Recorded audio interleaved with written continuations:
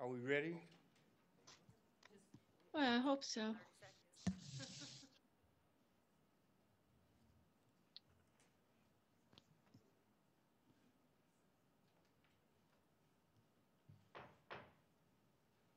Good evening.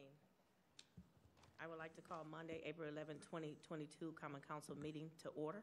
Clerk Jones, I believe you would like to make some comments regarding the link for this meeting and other expectations. Good evening, members of the public. For audio quality, we will be muting everyone not speaking by default to maintain good audio quality for council members as well as yourselves in the virtual audience.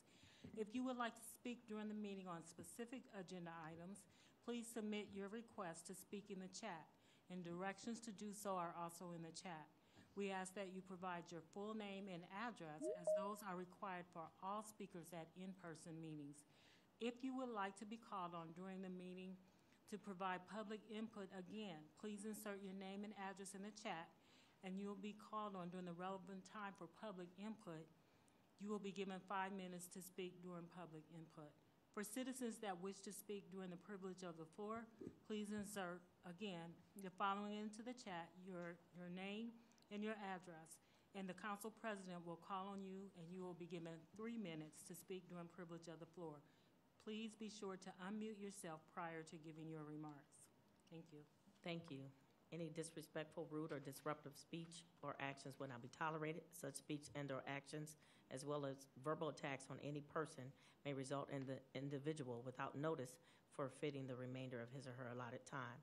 At this time, we would like to welcome Pastor Gilbert Washington of St. Paul Bethel Missionary Baptist Church for the invocation. Welcome. Thank you so very much. I am proud and privileged to be here with all of you. Let us pray. We thank you, our God. We thank you for being our guide. We thank you for this assembly, for this meeting. We thank you for guiding our feet and guarding our hearts. Oh Lord, we thank you for the privilege of our liberties, allowing us to serve, to serve your people, to lift them, to love them, to embrace them, to protect them, to provide a better quality of life for all who live here in the city of South Bend, Indiana. Be with the council tonight. Allow that they may serve you by serving your people. Allow, O God, that we may always give you honor and glory. Allow that we may serve with distinction and with integrity. For we too are your people, the sheep of your pasture. We ask, we pray, and we believe in and through thy name. And in thy name do we pray. Amen. Amen. Thank you so very much. At this time, we will stand for the Pledge of Allegiance. To the flag of the United States of America and to the republic for which it stands, one nation, under God, indivisible, with liberty and justice for all. Thank you. Clerk Jones, would you please call the roll? Yes. Councilmember Davis, Henry's here. Councilmember Lee, Present. Councilmember Warner, Present. Councilmember Wax, Present. Councilmember White. Present. Councilmember Tomas Morgan, Present. Councilmember Hammond, Present. Vice President Niezgodski, Present. President McBride, Present. nine present. Thank you. There are no uh, subcommittee minutes today. At this time, we will have a special reso- resolution recognizing April 2022 commemorating March, uh, uh, commemorating as Child Abuse Prevention Month. Um, We have sponsor Lori Hammond and also Henry Davis. Thank you, President McBride. Um, This special resolution um, is a collaborative effort by a number of people. Um, as April has been designated as Child Abuse Prevention Month, this res- resolution, despite its title, goes beyond the simple recognition of Child Abuse Prevention Month. As more agencies and organizations expressed their support for the resolution, more and more information was gathered about child abuse. And with this, the unanimous opinion of all agencies and organizations is that it requires community wide collaboration, the explicit recognition that ACEs are common and their long term impact is felt by entire communities, and the understanding that individual organizations will require governmental support in order to fully protect children from child abuse. The list of the agencies and organizations supporting this resolution is lengthy, but I would still like to read it. Um, Adoptions of Indiana, Annam Cara Counseling, Beacon Resource Center, Bowen Center, Geminis Early Learning Connections, Amani, Unidad, sorry, Mentoring Moments LLC, Oaklawn, Patricia Reynolds from South Bend Community School Corp., Prevent Child Abuse, Abuse St. Joe County, Purdue Extension, Robinson Community Learning Center, SCAN, Shaw Center for Children and Families, the St. Joseph County Cares Consortium members and friends, St. Joe County Public Library, St. Joe Regional Medical Center, Lactation Con- Consultants, St. Margaret's House, Take 10, the CASIE Center, the Early Childhood Services Programs of Beacon Health Systems, St. Joe County WIC Program, PNCC, Perinatal Care Coordinating Programs, the Babe Store, North Central Indiana Sickle Cell Programs, United Health Services, United Way of St. Joe County, Youth Services Bureau- of St. Joe County, and the YWCA of North Central Indiana. It's a pretty impressive list of support. And with that, um, I would like to read through the resolution. So whereas in federal fiscal year 2020, 3.9 million reports nationwide and an estimated 216,000 reports in Indiana were made to Child Protective Services. And whereas child abuse and neglect are serious problems affecting every segment of our community, and finding solutions requires input and action from everyone. And whereas effective child abuse prevention activities succeed because of the partnership created between child welfare professionals, education, health, community, and faith based organizations, businesses, law enforcement agencies, and families. And whereas our children are our most valuable resource and will shape the future of the city of South Bend, St. Joseph County, and the state of Indiana. And whereas the harms that stem from child abuse and neglect are one small portion of the harms that arise from adverse childhood experiences or ACEs, which are childhood experiences that can have long term impacts on physical, mental, and behavioral health. And whereas approximately 66% of St. Joseph County adults have at least one adverse childhood experience. And whereas the incidence and impact of ACEs are mediated by protective factors, which come from the lived environment and safe, stable, nurturing relationships.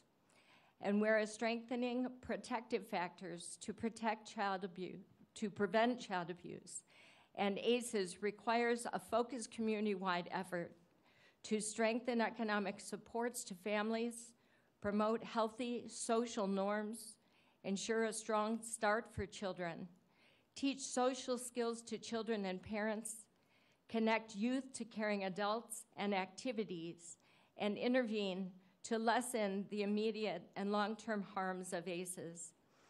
And whereas systems of ACEs Uh, Prevention require community, community-wide collaboration, the explicit recognition that ACEs are common and their long-term impact is felt by entire communities, and the understanding that individual organizations will re- require governmental support in order to fully protect children from ACEs.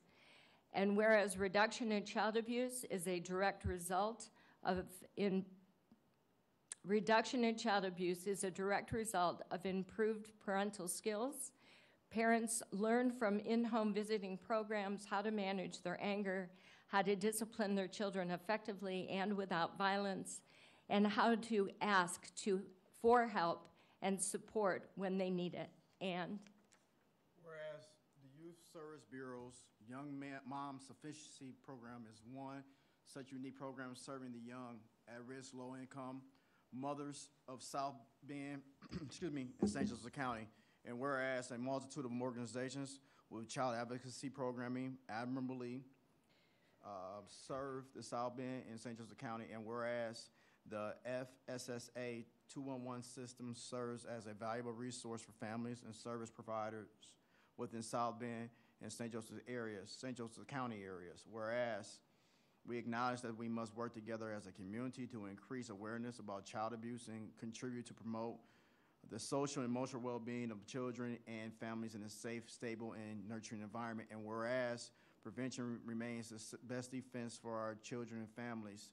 Um, now, therefore, be it resolved by the Common Council of the City of South Bend, Indiana as follows. Section one, the Common Council of the City of South Bend recognizes and proclaims April April 2022 excuse me, as National Child Abuse Prevention Month. Section two, the Common Council also recognizes and appreciates the efforts of all of the community service agencies who dictate their lives, dedicate their lives to the task of improving the quality of life for all children and families. Section three, the Common Council urges all residents to similarly dedicate themselves to the future of this community. Section four, this resolution shall become effective upon the date of passage. Thank you so much for the presentation by the sponsors. At this time, I would yield and ask the council, are there any comments? I would just like to thank the sponsors for bringing forth this um, special res- uh, resolution in honor of Child Abuse and Prevention Month. Thank you. Any other comments? Counselor Lee? I would uh, just like to say that uh, thank you to the sponsors for bringing this bill, um, this, this resolution before us. Abuse is, is very prevalent in our community, and any way that we can acknowledge it and help to serve those individuals who are part of it um, is what we should do. So, um, again, awareness helps to bring about the change that needs to happen and and uh, so many so many of our young people are suffering from the various forms of abuse and uh, it's a very important issue that needs to be addressed in St. Joe County and South Bend. Thank you. Thank you. Counselor Wax? Just going to uh, thank the sponsors for putting this together and bringing this to everybody's attention and to um, keep the focus on addressing this important issue. So thank you. Thank you. Counselor Davis, do you have additional comments? I think Troy's getting ready to say something. I can wait. Counselor Warner? Yeah, I just uh, wanted to th- thank the sponsors and thank the service organizations uh, uh, that were listed, the YSB, uh, uh, the YWCA, the CASIE Center, those are all organizations that are critical in our community and near and dear to my heart, and uh, thank them for all the work they do. Um, It It is very vital and crucial, and uh, you you have uh, our support. And I know YSB has uh, Over the Edge coming uh, in October, and uh, I, I'm going to sign up, and I'm going to try to see how many council people I can get here to go uh, over the edge uh, uh, to raise money for Sign me up. for Youth Service Bureau. Sign me up. Bungee jumping? No, you you repel. They also have, um, if I may um, interject, there is a roof set that is coming up in um, June. Yeah. and that is to raise money for child abuse prevention. The CASIE Center has their chair auction that will be coming up in May. So these organizations um, are reaching out to the community, asking for support, asking for some financial assistance. And um, I would ask that anyone that is able to partake in those. Thank you. Be on my team. Counselor Davis? Sure. You know, I um as I was reading that, my mind was you know um, working really fast. Um, not even the language, but one name comes to my memory when we get to talking about child abuse, and and I pass by that house on a regular basis, and I can't get it out of my head.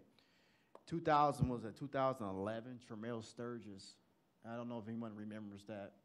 It was that young uh, boy. I think he went to Madison Elementary School. His dad um, killed him beat him to death.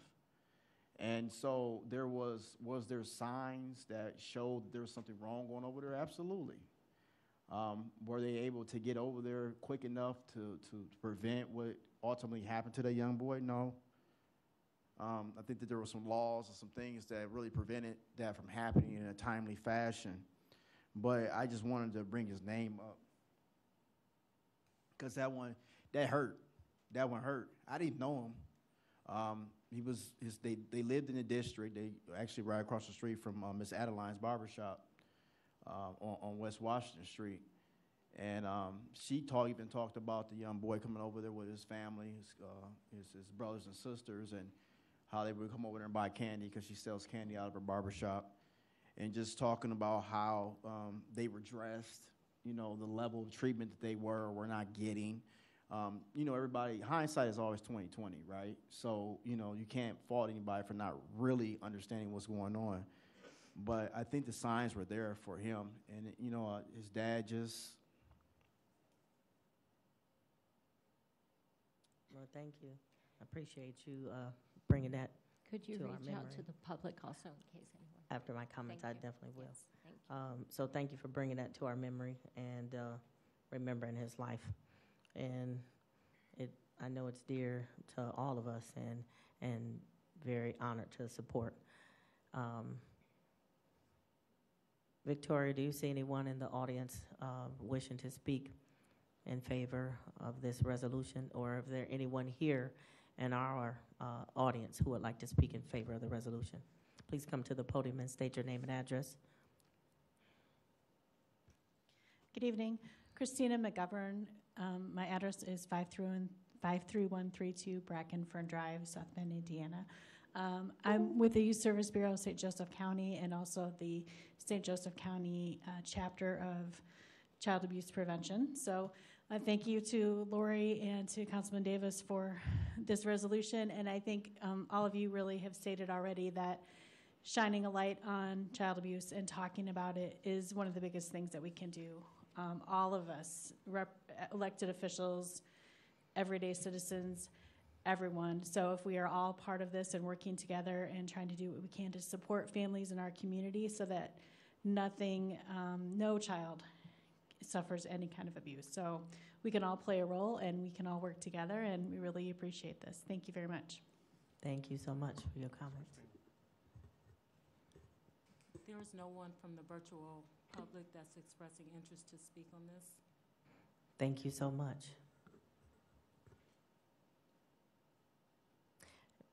By acclamation, I would ask all council um, for a um, motion for passage. So move. All in favor? Aye. Any opposition? Motion carries.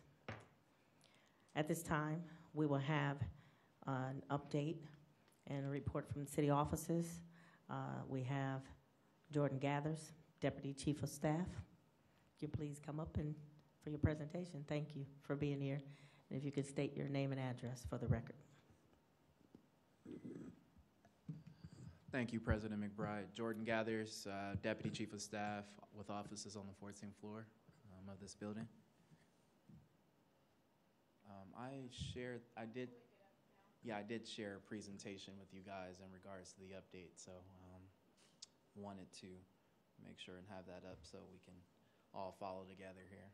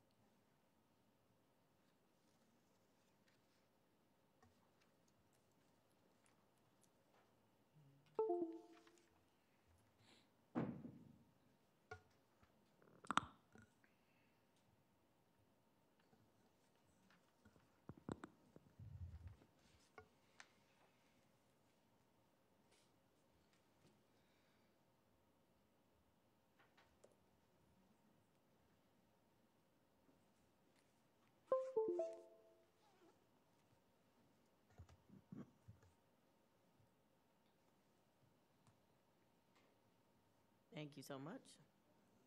All right. Awesome, awesome, thank you. Um, so today I'm here before you to present an update um, on homelessness here. Um, we, we know a lot of work has gone into um, addressing our most vulnerable population. Um, and so, but I appreciate everyone's um, input and suggestions on, on how to do to how to do things better. Quite quite a few meetings have taken place, um, so I'd be remiss not to thank everyone who's been a part of those conversations um, and and and work working towards solutions together. Um, so next slide, please. Um, so here here we have a point in time uh, homeless count um, and C list, which stands for coordinated entry. Um, and the coordinated entry is a tool that is used to assess and prioritize individuals for housing and services. Um, it also helps communities um, prioritize assistance based on vulnerability um, and severity of services needs. So um, this is this is basically to ensure that people who need assistance can receive it in a timely manner. Um, and their guiding principles refers to basically access, um, assessment, prioritizing, and referral. So when we look at the state of Indiana here, we have we have different regions um, across our state. Um, and in 2019 and 20, we saw the totals of 413 and 516 um, homeless um, individuals that, that were accounted for. Um, and so as, as you continue to look at the, the, the, the next few bullet points here, you'll see that in that count, that last year we, we dropped significantly. Um, and so I will, I will make an important note to that number and that, that drop in the sense of that there was, there was a few errors within the state's report um, compounded by the pandemic. Um, and so we will say that 2020 is probably, that 516 number is probably more of an uh, accurate number, um, if you will. Um, but happy to see that we are seeing a, a trend going down um, as, as far as last year and currently we sit at 233 on the coordinated entry list. Um, next slide, please. So the last time um, I, I, I was before you, uh, before the council, um, I gave an update kind of on the mayor's implementation group, um, which convened in August of 2020 um, until the end of that year, um, in which we put together a, um, a, a strong, robust, powerful network of peers um, that worked. As you can see, we had some elected officials, we had a few council members um, here as well um, on those on those 8 a.m. morning calls, um, going into identifying and implementing. Um, or identifying and implementing strategies for both short-term and longer-term strategies as it relates to our unhoused population, um, and also building a city that provides support and opportunity for all who call South Bend home. Um, and within this within this implementation group, um, we felt that it was best to break it into subcommittees, which you'll see here um, at the bottom of the slide. Um, we had health and sanitation, uh, we had weather amnesty, and then we also had permanent supportive housing. Um, these three subcommittees were crucial and critical um, as we continue to be a little bit more focused um, and, um, and more specific um, in the interest of the group. We had about 20 to 30, 20 to 40, I would say, it would vary um, each meeting um, of individuals within the implementation group. Um, but the, the subcommittee groups were much shorter, probably around 10, 10 to 15 for each uh, subcommittee. Um, next slide, please. So we, within, within the culmination of the, the subcommittees and the, the mayor's implementation group, um, we, we came together to address homelessness and to, um, to recognize the situation. This situation has been years in the making. Um, we've also we also we also understood and quickly came to realize that um, it cannot be solved overnight. Um, and so he, we had a few of the um, subcommittees come up with recommendations for um, for the mayor, for for our community, for the city on how we would like to move forward in addressing our our, our unsheltered um, individuals and neighbors. So the first sub the first subcommittee here, health and sanitation, um, as you can see, um, we had we had some uh, laundry services as well as um, some porta johns or porta potties, if you will, um, downtown, centrally downtown um, located, and the to my knowledge, and, and I believe that uh, this was run with partnership in Burden's Laun- Laundry, that this is still taking place on Wednesdays. Um, we've also developed a, a, a partnership with Transpo to provide free and affordable transportation. Um, and then also um, being able to utilize some of our willing service providers without our city. Um, next slide, please. As it relates to the weather amnesty and housing um, uh, subcommittee, um, we continue operations of weather amnesty, um, which um, a lot of the members were very adamant about. Um, and so we, we continued that. We extended the, the support of the Motels for Now program, um, and, and as well as um, utilizing, um, utilizing buildings to house individuals, um, you know, and making sure that we were very intentional about understanding that most of these things are just the tip of the iceberg. Um, the needs are, are significant, but we understand that smart planning and execution will continue to um, emerge some of our, our responses here um, after, even during the pandemic and after. Um, next slide, please.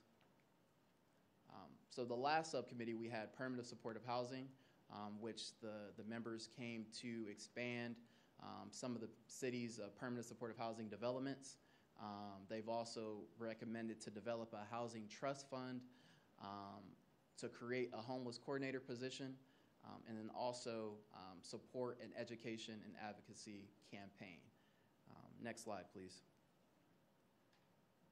So within what I, when I just mentioned that we wanted to create a, um, a homeless, you know, a, uh, a homeless coordinator position, we were able to do so, um, and, and, and we were able to do so last year.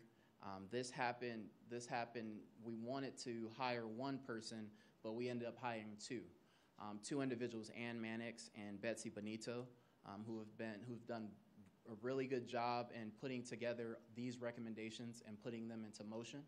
Um, and so here are some of the, the, the, here are some of the deliverables that we were able to um, that we were able to come up with as it relates to their contract. Um, these are not city employees, um, but they but the, it was a, a 12 year contract that that we that we were able to, uh, to commission. And, and here are some of the here are some of the, uh, the deliverables here as far as collaborating with various groups um, for that educational campaign to make sure that we're dispelling some of the stereotypes and reimagining the narrative as, as it relates to our homeless population.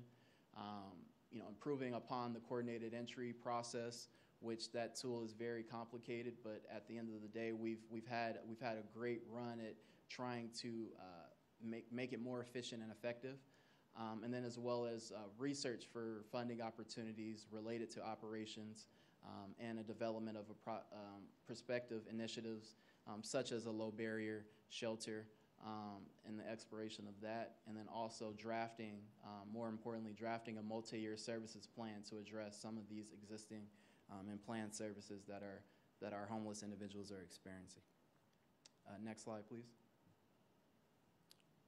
So I wanted to give um, everyone here on council, um, in 2020, I, I wanted to bring this back to the table as far as um, noting our CDBG and ESG CV funding. Um, as you can see, the total there, um, we wanted to make note that this does not include any of the reimbursed costs for COVID, um, of uh, COVID-19, quarantine motel, and other, and other expenditures um, but wanted to really make note of some of the items that were, were expended in, in, in that year. Um, next slide, please. here we have a funding breakdown of the 2021 homeless implementation budget. Um, that 650 number, um, we wanted to we, we, that that these these things are happening um, and have and are in progress and have happened.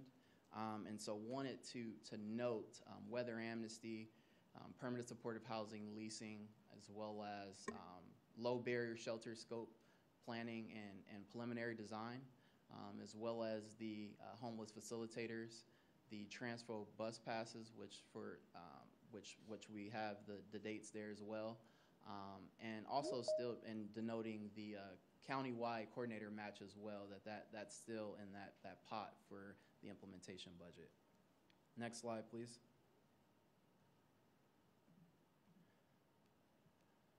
So, um, so now we, we get to 2022, um, and, and we, we're st- we still have a line item um, for, for these series of, of uh, initiatives, um, if you will, and recommendations, um, and, and making, making note that, that, um, that most urban cores are contending with the increasing number of unhoused individuals, but um, this 650,000 total um, within implementation has been um, you know, has been assigned, um, and just wanted to again note that um, that these are these are very important, um, very important recommendations that we're moving forward on. Next slide, please.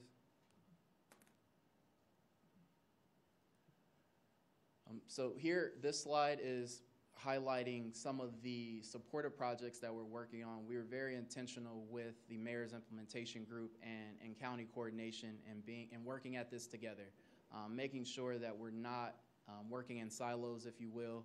Um, and so wanted to outline some of the projects that, um, that have been in the works, that are pending, um, and that we're continuing to have um, conversations on. So we have the expiration of a low barrier shelter.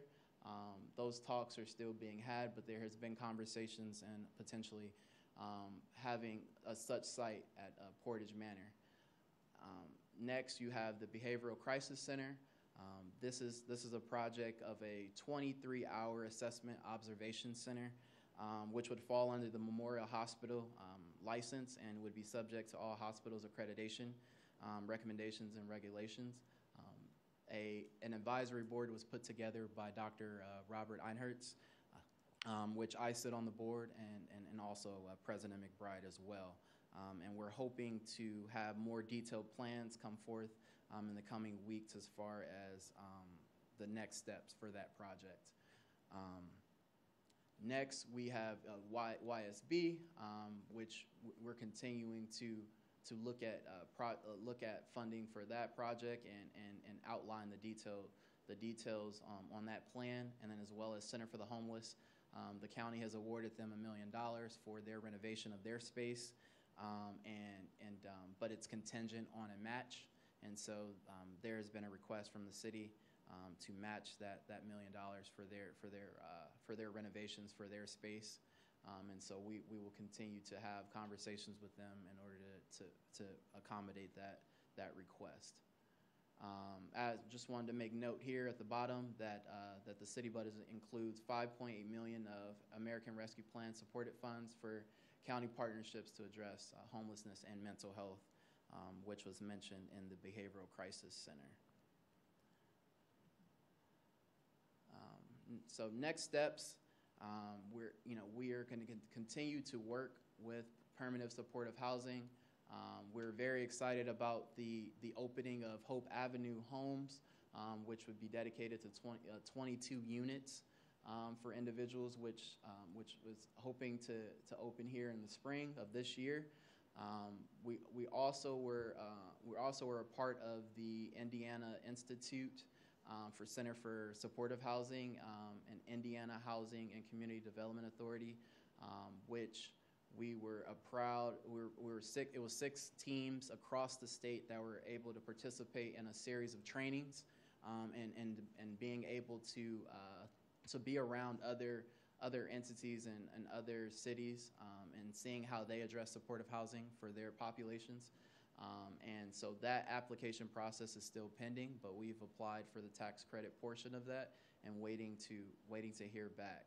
Um, and currently, we're in the 2022 uh, institute, which um, I was just me and a few other team members um, were just a part of in Bloomington um, in another session, and hoping to to compete for funding for another project um, similar um, or or more a little bit more innovative than than the one at Hope. So we're we're hoping to do more of a scattered site. Um, uh, scattered site units, as, as you can see here, and, and, hoping to kind of work towards that and, and have more updates here um, in the coming, in, in, in the middle of this year.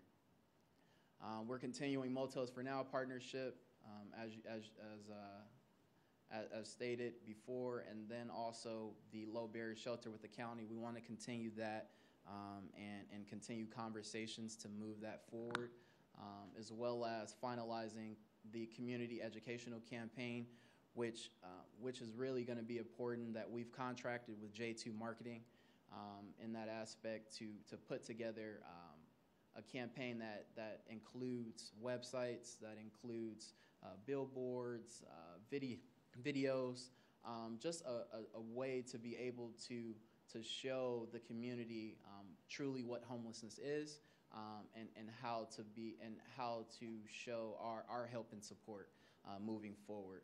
Um, and, and lastly, um, we're, we're looking to reconvene our implementation group um, to assist our city facilitators in their deliverables um, and making sure once their reports are complete that everyone, everyone has an, an opportunity to convey their, their suggestions and thoughts and, and continuing to get better um, in this effort.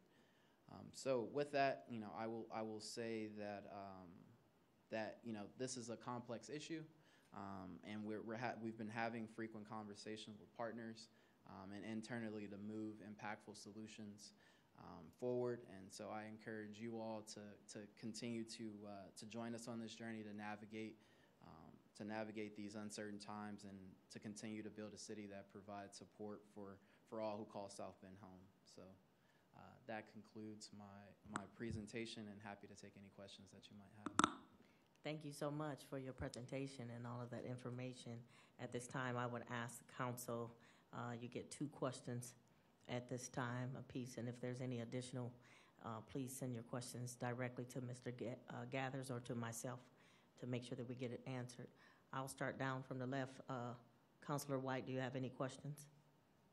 No, just thank Mr. Gathers for the presentation and the summaries. I think it was very helpful to be, to look back on those uh, other um, years in regards to from a financial perspective, but also looking towards the future and what it's going to take for our city to ensure that everyone has adequate shelter and that we're serving those most vulnerable within our community. So thank you for the, your report, and I look forward to receiving the slides. Absolutely. Thank you, Councilor Tomas Morgan. I have no questions. I just want to thank you, Mr. Gathers, for your report, and as well wanted to ask if you will be sharing the slides with us so, so that we could share with the public. Absolutely, we'll do. Thank you. Councilor Niezgodski. Thank you, Madam um, President. Um, the only que- and thank you for the presentation. It was a very informative presentation. On the Epworth that facility, the 23-hour facility, Mm-hmm. um, do you envision so like when a if a police officer runs across an individual that needs help, is that primarily what that facility would be used for? And I seen you didn't have a dollar amount on there, but is that the primary use for that facility? Yeah, so the, oh, sorry. So, yeah, so the Epworth, that, that would be, um, we, we definitely, it, from, from the advisory board conversations, there has been talks about what the center will be filling, the, the gaps that will be filled. Um, and, and a lot, um, and one was that they would be, um, from, from individuals that gets calls or 911 dispatch, that they would be able to, to utilize that, that new facility. Okay, Okay. thank you. Thank you again for the presentation and update. Welcome. Councilor Warner? Nothing? Councilor Lee? Thank you, uh, Mr. Gathers, for this information and uh, seeing how we are moving the ball forward. Uh, I was on a lot of those eight in morning calls, and um, the group of individuals that he had to galvanize and, and work with, uh, you did a great job of, of getting people broken out into groups and, and getting results.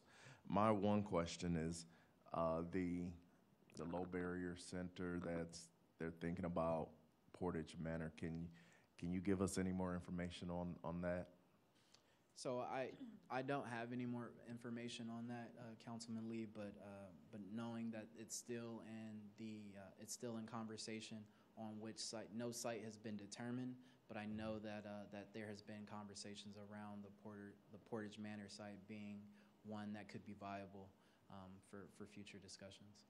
Okay. Thank you. Counselor Wax? Thank you. Um, I'm, thank you for your presentation. Uh, lots of helpful, valuable information.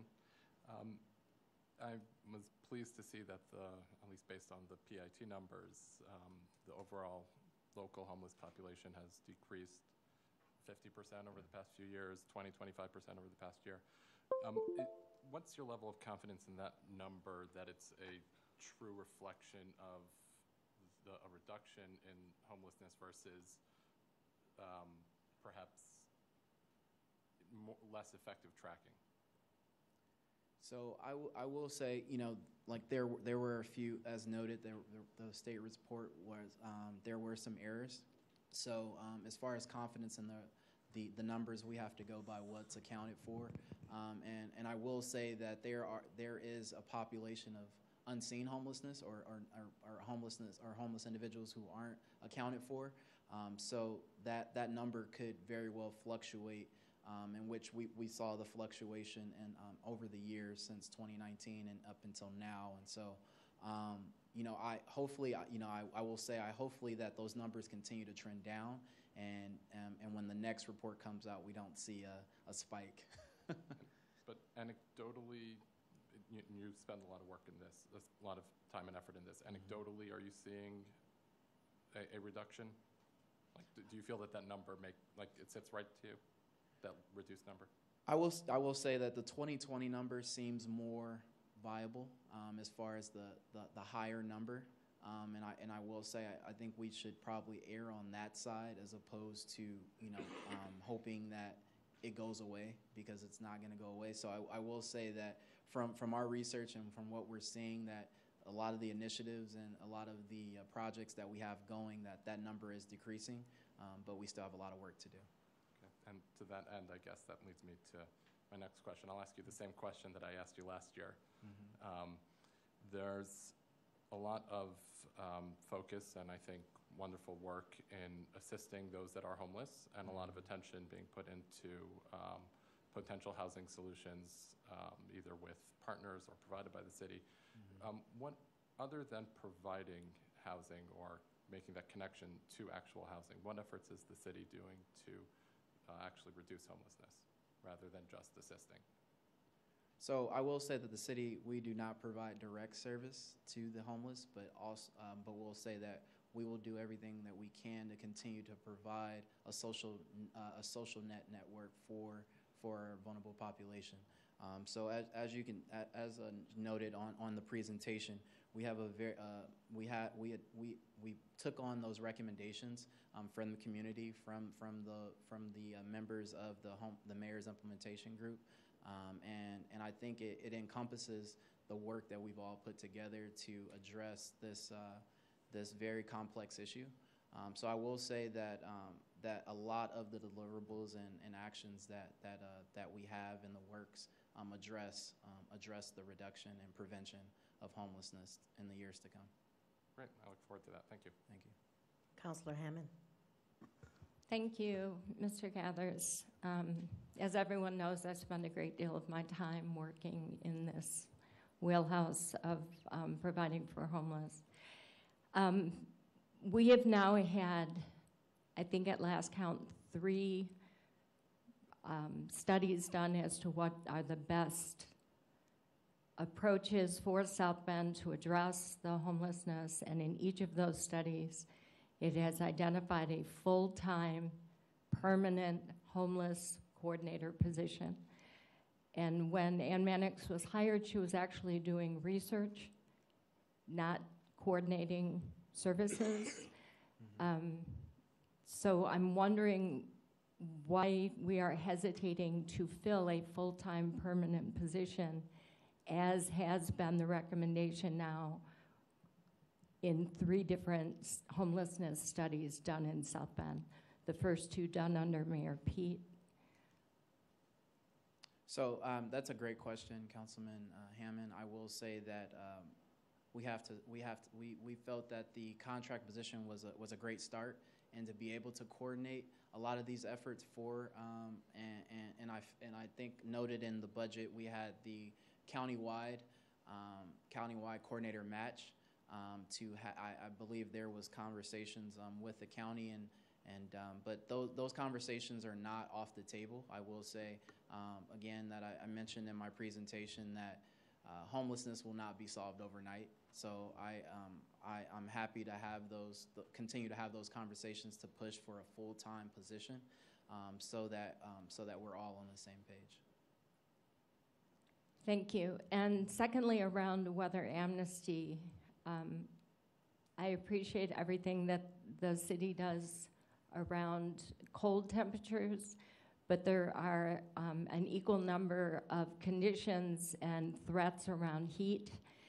And I think not having a 12-month weather amnesty is not really addressing all of the concerns that are affecting this community.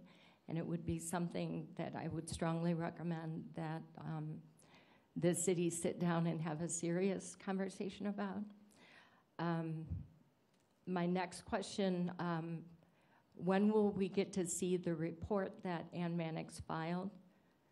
So Ann Mannix and, and Betsy Benito, um, they're working in tandem, um, and it's still being under reviewed now. Um, and but as mentioned, we're, we're going to be we're going to be reconvening the mayor's implementation group, and I'll be sure to, to send you an invite to, to present their results and report.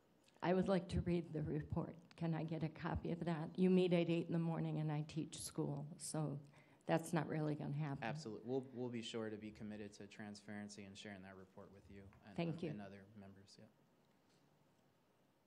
Counselor Davis?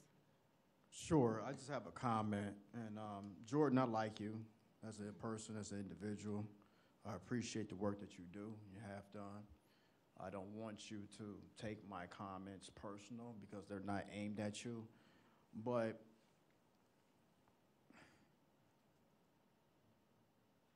I'm not sure how this is going to work when we are preparing for people that we can't even count because they just move around, right? And so there's like this presentation that you just made that suggests and supports the city is working at it.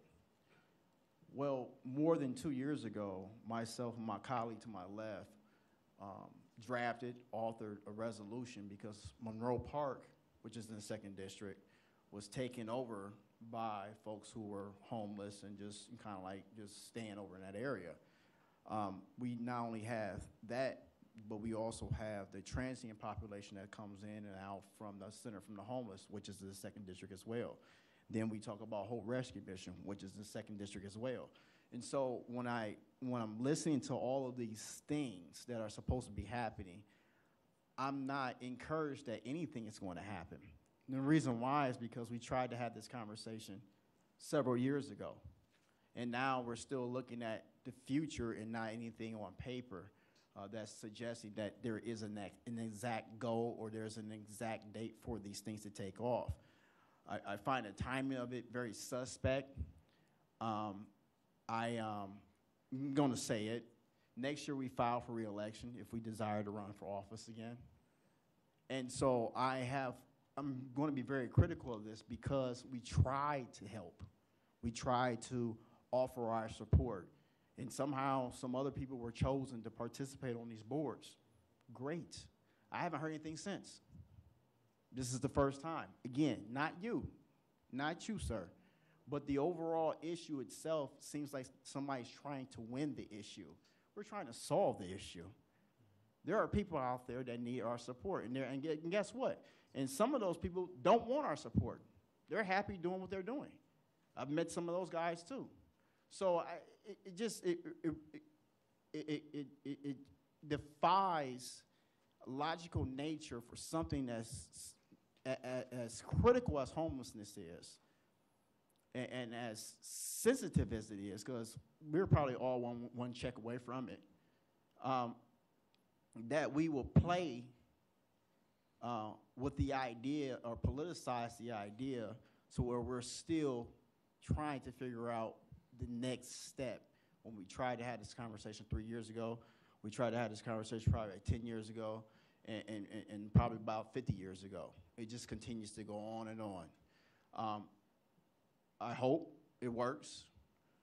I hope it works, but I, I, I- really find all of this to be very suspect at this point.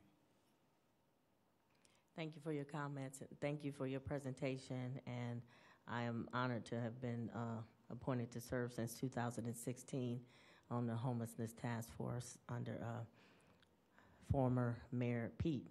So I uh, commend the report and continue to look forward for us to work together on the um, low barrier, the crisis center um, that I was just appointed to by um, the health department, and also uh, continue to do this work. So I am uh, hopeful that we'll continue to have a path forward through this very complex issue. So thank you to all of my colleagues for your comments. And if there's any further questions, again, you can direct them to Mr. Gathers or to myself for us to get some answers for you. Thank you so much. I appreciate your time. Thank you. Have a good evening. You have something? Thank you. At this time, we will have the Commuters Trust team uh, come on up. Denise? Please state your name and address. Good evening. Uh, my name is Denise Linn Riedl. I'm the Chief Innovation Officer for the City of South Bend with offices on the 12th floor of this building. Um, I'm going to let uh, Lynn Wetzel here uh, set up. Lynn is the Executive Director of Commuters Trust, and so um, I'm going to pass over the, the uh, limelight to her shortly, and she's going to give you, uh, the council members, just an overview of the, the program. Uh, actually, this program um, really started in 2018 when um, several folks in innovation technology in the mayor's office started to engage with residents about uh, barriers to employment in the city of South Bend. Um, and we really heard the theme over and over again uh, during that time. That was even before I started at the city. Um, that uh, transportation insecurity was was a big barrier to not only getting but keeping a job for hourly wage workers. Um, and so uh, I just kind of wanted to ground this pro- this program that Lynn is going to provide an overview on in that problem uh, and, and, back in that time in 2018. Um, that same year, uh, Bloomberg Philanthropies posted an opportunity called the Mayor's Challenge. And it was a competition between cities to win $1 million to solve a systemic problem um, that was potentially had transferable solutions that other cities could learn from. Um, the thing about South Bend is we're a mid-sized city, and our transportation challenges are very real. There are lots of other cities that experience challenges like ours. Doesn't look like Chicago. Uh, it doesn't look like a rural area either. Um, we have a bus system here. Uh, we have public transit. We have lots of assets, but um, we don't have the density that a big city has. So we have some really unique um, challenges that we realized made us a great test bed for innovation in South Bend. Um, and so that's really the, the history of this. Um, uh, Lynn's going to provide an overview of the program for you. Uh, I know many of you have uh, been involved to some degree uh, during the Commuters Trust project, um, but it's been a while since we've had a formal update to council, and so uh, we wanted to just give you an overview of the entire program. Um, it's been, I think, 10,000 free or uh, discounted rides since we, we last talked to you. Uh, pandemic has happened. Uh, a board was created, a whole governance system. Um, three, uh, three staff uh, have been recruited, a small but lean team. Um, and 20 plus partners probably have been involved in this project. And so um, Lynn's going to provide an overview and uh, any questions we can't answer today, we'd be happy to provide in writing to you uh, after the presentation too. Um, but uh, without further ado, I'll pass it over to Lynn Wetzel, and she's going to give you an overview of Commuters Trust.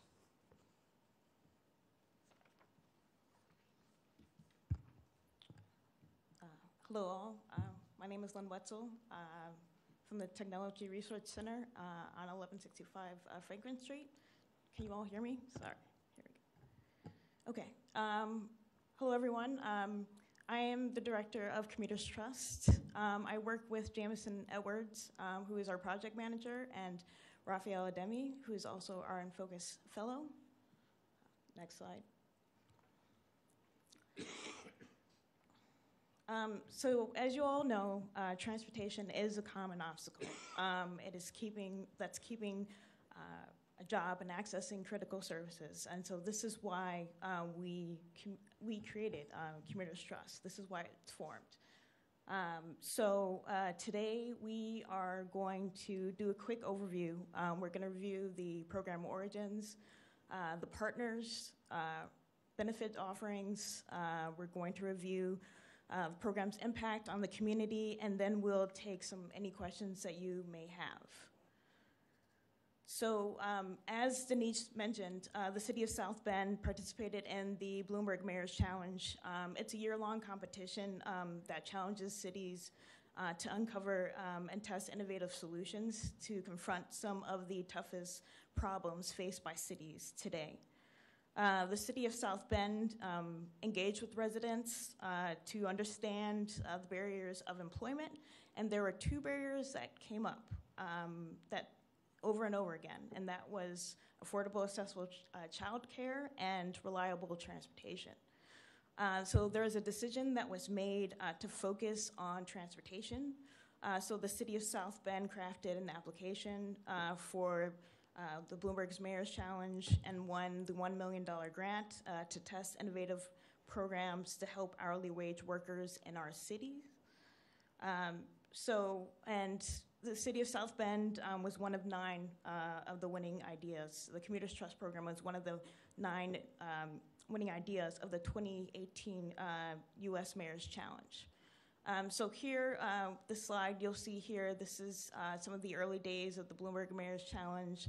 Uh, you'll see some familiar faces up there, uh, Mayor Pete, Denise, uh, Aaron Steiner, who is our former, uh, or our founding director, and Jack Jacobs also as well, who is the former project manager with enFocus. Next slide. So our solution to transportation insecurity. Um, we operate, our program operates and works directly with transportation vendors um, and program partners uh, to test transportation as, ben, uh, as a benefit packages. Uh, we um, have, as Denise mentioned, um, we've partnered with several um, organizations and pl- employers um, in the region.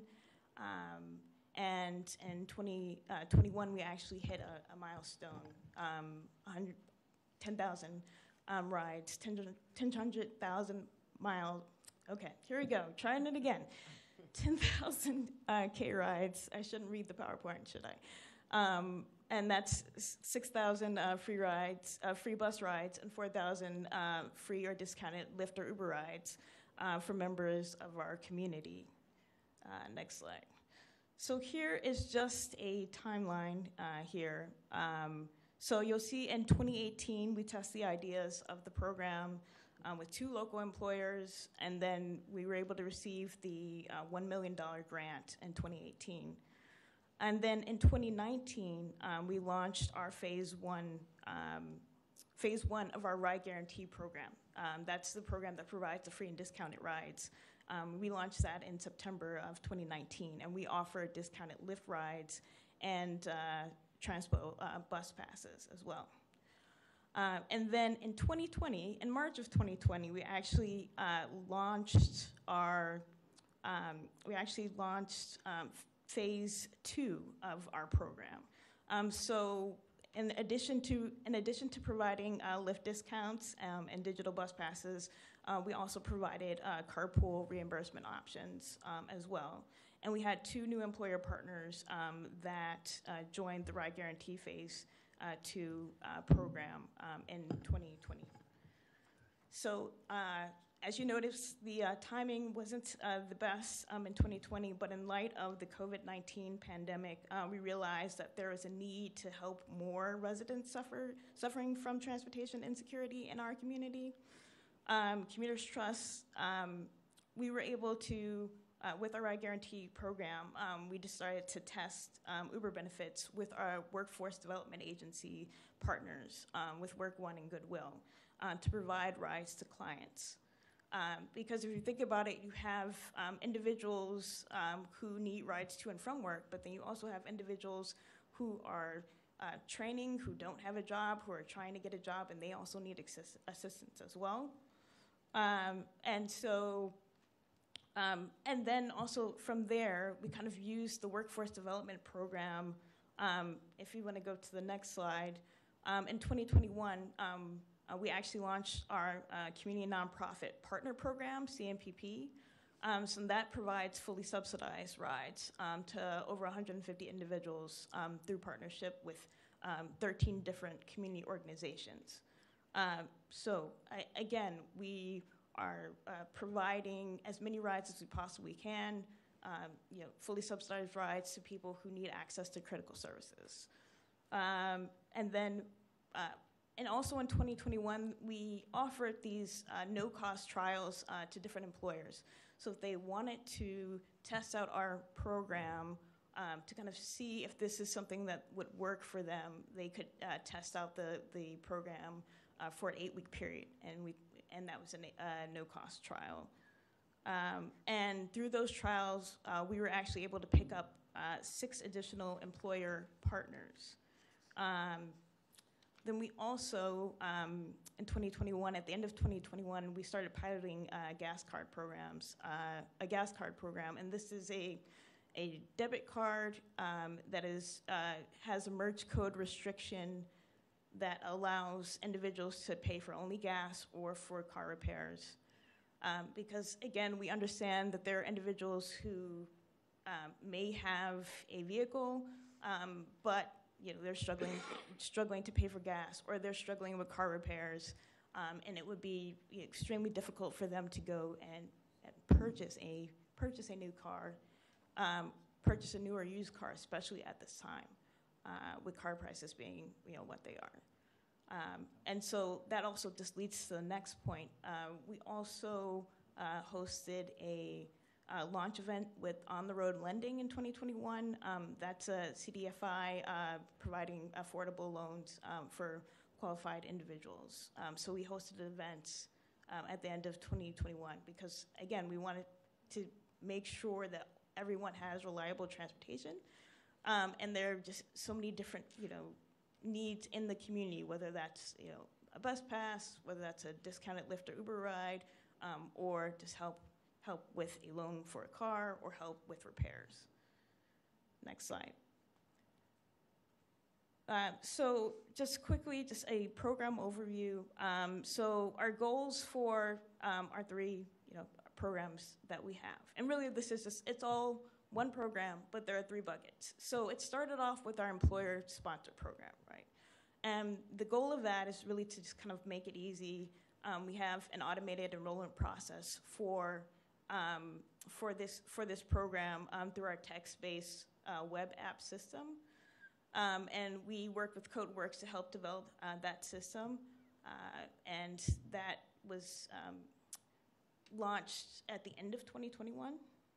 And also, we want to increase productivity, uh, decrease absences, and stress. Um, so we want to track an individual's participation and usage and their feedback to accurately report costs and impacts.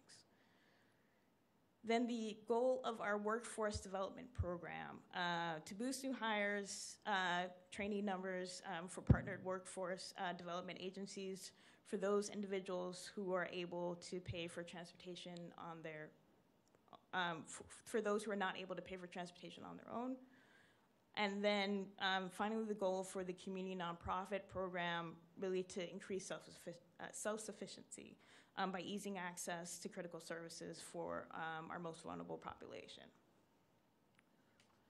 And this here you'll just see um, these are just a few pictures of um, a ride guarantee enrollment.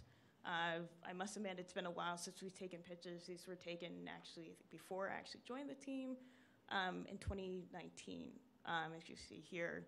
Um, but there are a lot of on-site visits um, that the team did to recruit, um, you know, different individuals to join our Ride Guarantee program. Next slide. And then here you will see, um, so you'll see here a list of our employer and workforce development partners as well as our community nonprofit uh, partners. Um, one thing to note here, uh, Catholic Charities, uh, United Religious Communities, as well as La Casa, um, we're working with them and they are um, actually helping um, Afghan families as they resettle into the community, so we're assisting them. Um, and we, again, recently added Catholic Charities and United uh, Religious Communities uh, to our list of organizations that we're partnering with. They were uh, originally part of uh, the one-year pilot that we started. Uh, next slide.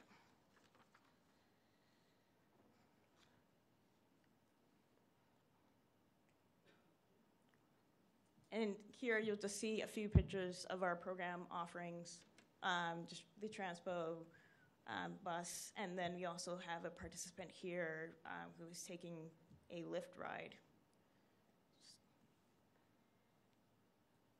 Okay, and here we go, our, our big milestone here, and this was uh, posted on um, Bloomberg's Twitter page. So, be able to see here.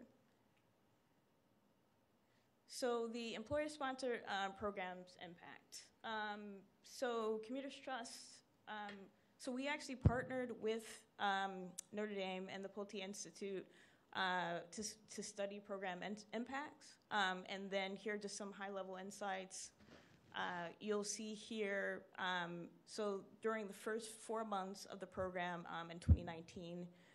employers saw kind of a, a decrease in absences, but then when we got into 2020, um, here you'll see that there are some mixed results. And I mean, and really, you know, a lot of that is that the pandemic, um, but there were, you know, COVID had like a really big impact on essential workers that we, um, and you'll just see that there is um, an 85% decrease in volume to safety, um, furloughs, illness, et cetera. Uh, that's what you'll see here and so, um, because of that, yeah, you can go to the next slide. So, um, as I mentioned, so it was essentially just with the uh, reporting, we were getting mixed results. And you think about absenteeism and um, you think about tardiness, there are other things that affect that. Uh, so, um, you know, you're talking about homelessness, you're talking about food insecurity, you're talking about childcare. Um, so we moved towards uh, self-reporting. Uh, so there are resource, re- researchers at uh, the University of um, Michigan um, that they developed what is called uh, the Transportation Security Index. Um, it's developed by Alex uh, Murphy, Dr. Alex Murphy, and Dr. Alex, Alex Gould-Werth um, at the University of Michigan. And so participant TSI measures um, are collected um, upon enrollment in the program and um, every 60 days uh, thereafter. Um, so our and so for a TSI score, if you have a low TSI score, then you would be considered transportation in, uh, transportation secure. Um, so CNPP participants, um, those uh, individuals who are providing full subsidies for, um, they have higher TSI scores on average um, than some of the individuals in our employer-sponsored program. Um, so, and, and we actually distribute this TSI, these TSI questions every 30 days to our, our CNPP participants as well. Uh, so if you want to go to the next slide here, and so this is, again, this kind of shows you, based on the questions, you add up the, um, the add up the, the um, answers um, that they're provided, provided uh, to get a TSI score. And so this graph is actually of our CNPP participants. And so you'll see that there is a, a drop, there is a, um, there's an, a sharp uh, drop in, in score, and then it increased again. Um, something that should be noted here, this, I guess, the time point for um, these surveys were taken during the holiday, and also you know, you'll see here from the baseline, there are 128 participants that were actually, uh, that actually took the survey compared to just 28 um, participants at time point four. So that's something to kind of be mindful of. Um, that these these results um, do vary, but at the beginning of the program, we saw um, that there is definitely a meaningful, I guess, impact um, um, on, on participants once they start to once they started with the program. So here are just a few um, stories of impact. Um, and I've you know, changed the names um, of these individuals that are participating in our program. Um, but you see here that Jessica, she credits the program with significantly improving her quality of life. Um, you know, and you know, even she recently tested positive for COVID, but she stated that the program saved her at least a couple hundred dollars, I guess, since November. And that's what we're, you know, these are stories that we're hearing is that you'll have individuals that are are saving hundreds of dollars just by joining our program. Um, and you know that's it, it's you know improving their quality of life um, and just also just providing them with reliable transportation which is uh, really our goal of providing reliable transportation for all residents in the region. Um, and then jonathan um, unemployed in south bend he's actually another uh, CNPP participant. Um, he didn't have a reliable way to get to his doctor's appointments. And so, you know, again, you have a lot of residents um, in the area that need access to critical services. They need to go to their medical appointment. They need to um, pick up their prescription. Um, you know, and and in some ways, you know, the bus works for a lot of um, individuals, but you know, so we provide that option of, hey, uh, if you need a bus pass, here's a bus pass. But if you need to get to your doctor's appointment, um, if you need to pick up your prescription, you can also use this other option um, which is a fully subsidized uh, Uber or Lyft ride. And that's all. I just want to thank everyone, um, and we're just opening up for any questions you may have. Thank you for the presentation. I will start with the right. Counselor Davis, you have any questions? No, and thank you for your presentation. Counselor Hamann? Thank you. Thanks for your presentation. I appreciate it. Um, in your presentation, it mentions 6,000 free bus rides, but in our previous presentation, the city has budgeted 30,000 for the last two years for free bus passes, and I'm wondering, is there any communication between these two entities that are supplying free bus transportation? Yeah, um, I'm happy to look into that and see. Um, but I, I, this is a separate, uh, a separate program currently, and so, um, but I'm happy to look into that, uh, Counselor Hamann, and um, answer your question. Uh, do you, do you recall like what presentation that was in? Mr. Gathers? Oh, with the the home the homeless program specifically. Yes. hmm Yeah, yeah. No, um, from what I can tell, that's a different collection of additional free free bus rides. But um, I can coordinate with uh, Jordan just to double check on that for you. But it's a different a different project. Okay, I think it would be important to make sure that these are not going to similar pockets of individuals, and I, I love the program, but I just think, you know, some oversight on that would be um, a good idea. Secondly, um, uh, and Transpo conducting the Connect study, and I'm just wondering if any of um, the um, results that you are finding are being communicated to those conducting this study because I think it will be helpful in trying to orchestrate new routes and figure out that unbelievable question between coverage and density or whatever that thing is they're trying to get us to decide. Um, so you will be communicating. We, we yeah, we already have. We've already attended several meetings already. So yes. And um, uh, both Transpo and, and MACOG are on uh, the Commuters Trust Board. Perfect.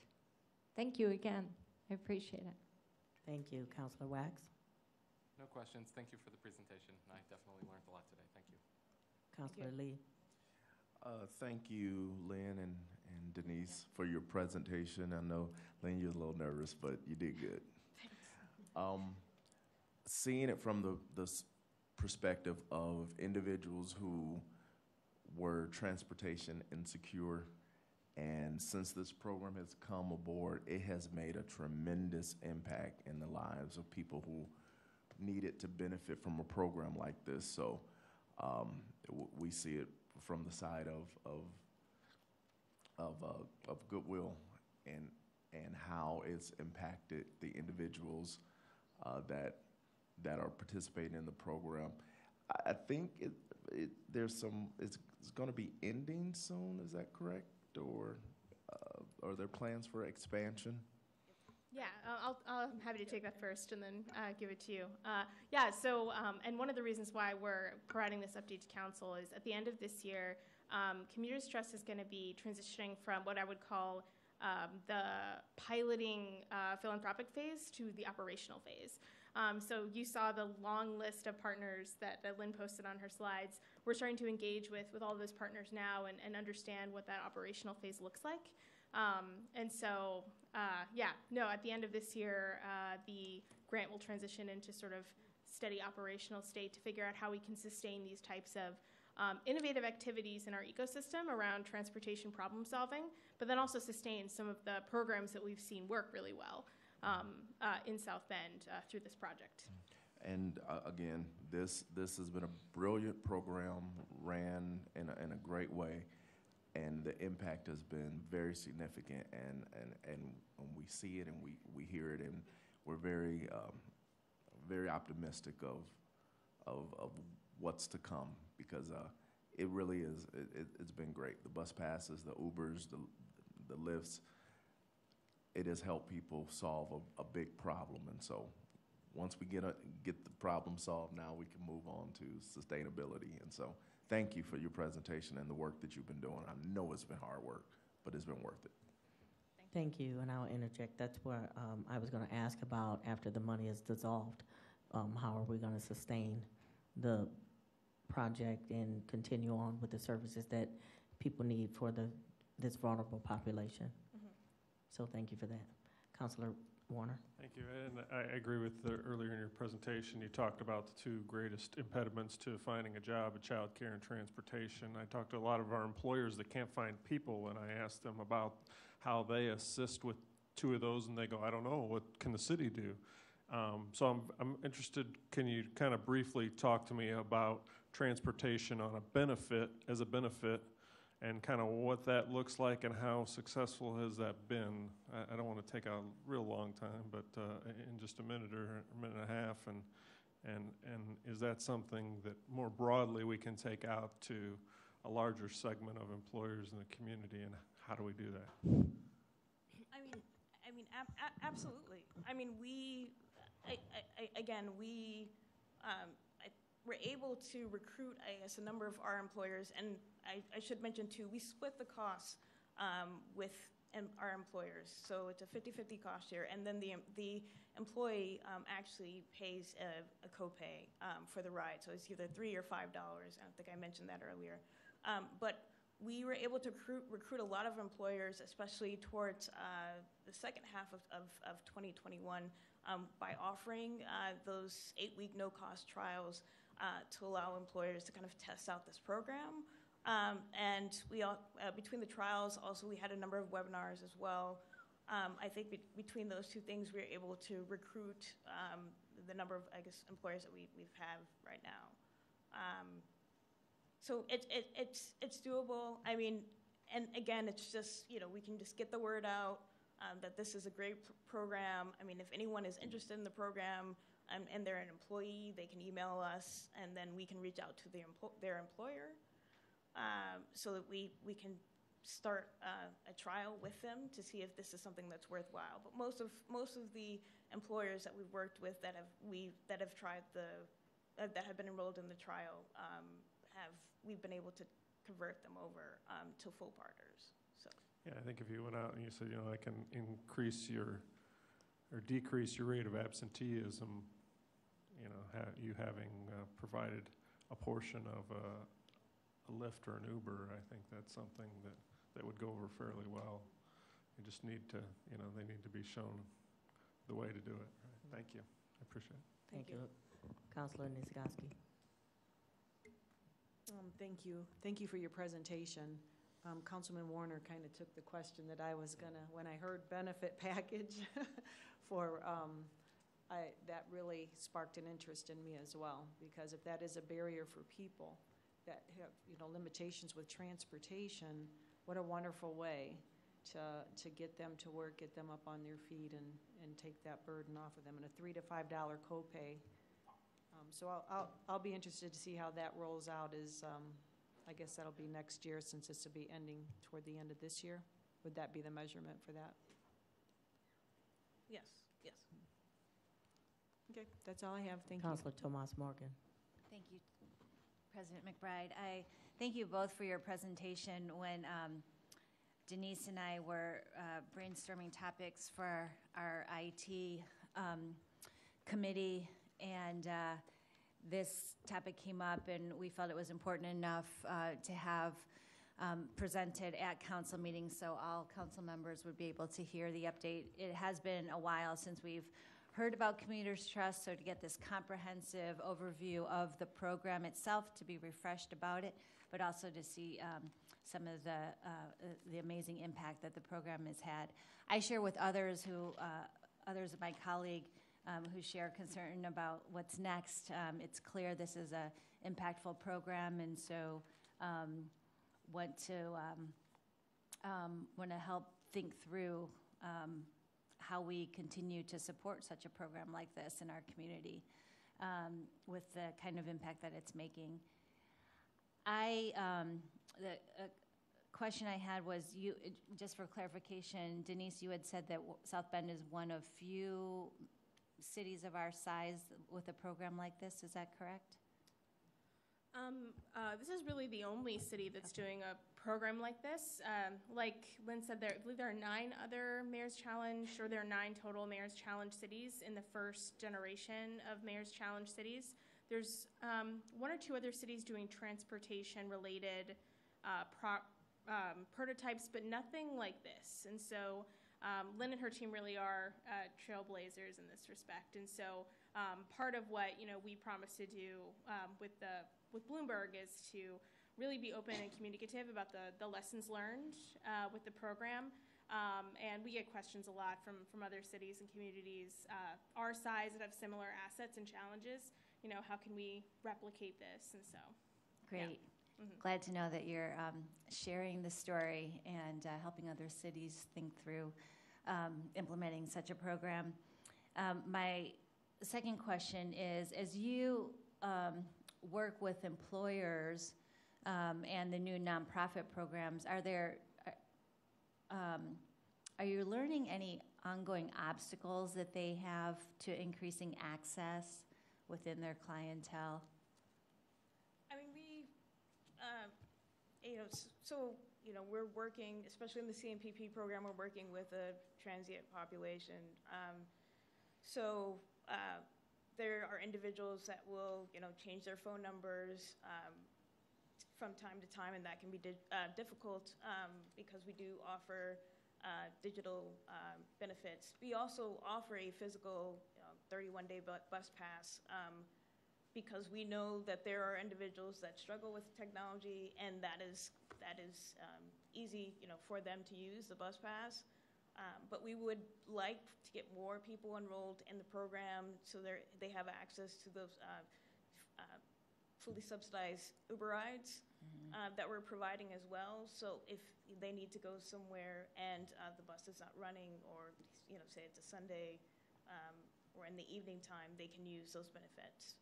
Um, even you know even though they uh, may not necessarily be uh, super tech savvy. And you know we, we try to work through it with them as you know as much as we possibly can. Like we have great um, community you know, partners um, that will really work with us and work with the individuals to help them get enrolled um, so they can have access to all of the benefits that we provide um, so uh, that's really great. And we also have um, a text, an SMS uh, service that we have, so individuals can text us if they need help with enrollment. But th- that's prob- that's, I would say, like the biggest problem that we're facing right now. Okay. Thank you so much. Counselor White. No, I just thank you. I would just like to thank you for your presentation and the data that you've been able to bring forward. And the one question I had has been addressed, and that was the sustainability of the, the program, as well as even expanding the program. And you had made mention that transportation and childcare were the two main barriers. What kind, have you seen that trend to still be true in regards from, a- you're providing the transportation, but has childcare become an issue as well? And if so, have you had any conversations with the childcare providers? So, I mean, we have had um, some conversation with childcare providers, um, and we've enrolled a few um, in our uh, no-cost trial, um, but I, we're unable to kind of convert those that those trials into um, full-time programs. Uh, just in regards to the access for individuals and their access to to childcare, um, we do get a number of questions like, "Hey, can I use this Uber ride to drop off my kid and then go to work?" And uh, Uber, both Uber and Lyft allows you, they will both allow you to add a stop so that, that you can actually go drop off your kid and then go to work. So, yeah, that question comes up, you know, fairly often. So we are trying to, to solve that problem, at least getting um, your child uh, to childcare um, with this, this Uber, bene- Uber and Lyft benefit. I think it's nice to know that. Thank you so much. Thank you for your presentation. Thank you.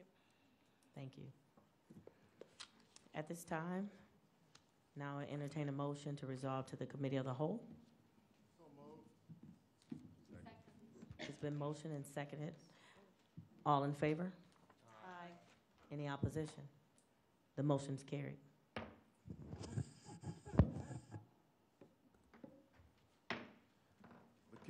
The Committee of the Whole is now in session. This is the portion of the council's meeting where bills are given a second reading and public hearing.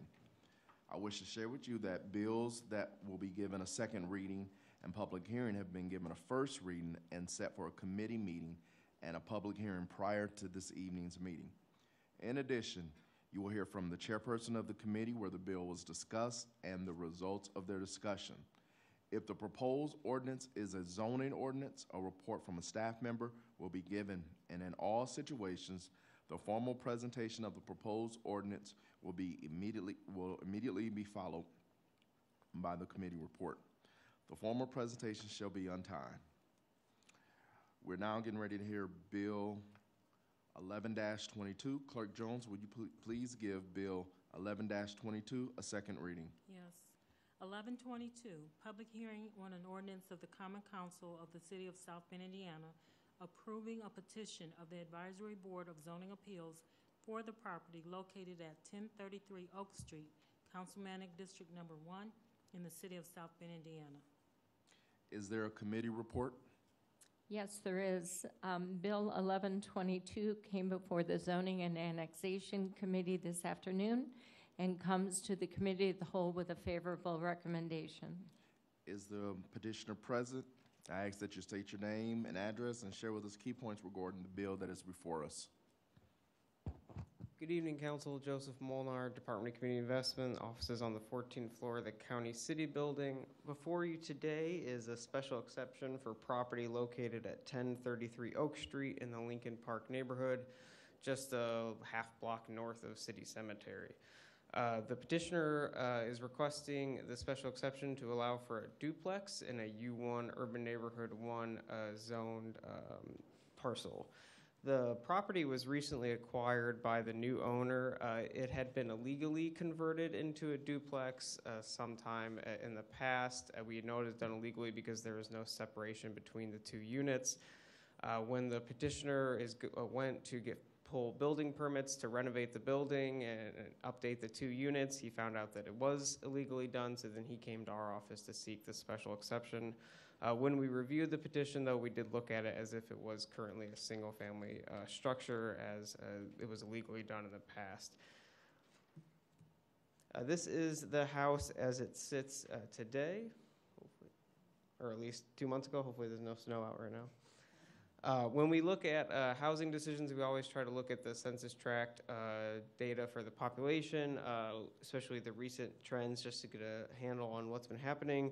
Uh, Tract 19, which is essentially uh, from the city cemetery north to Lincoln Way west, has seen severe population decline since 1960, a decline of almost 2,000 residents, which is 60% of its 1960 population.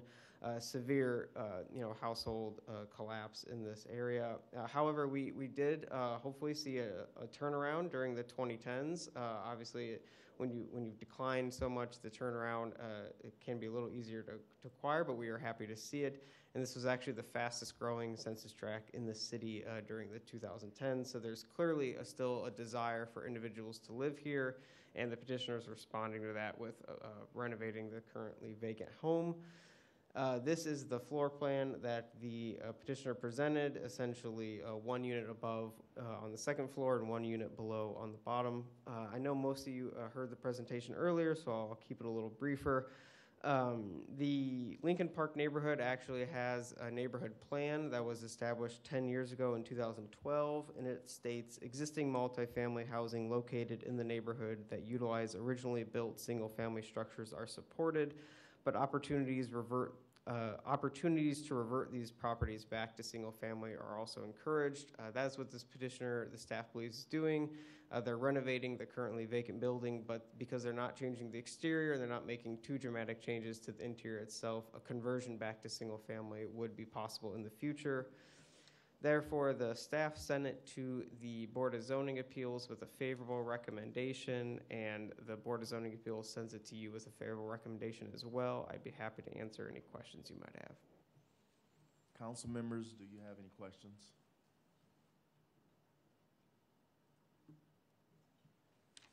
All right.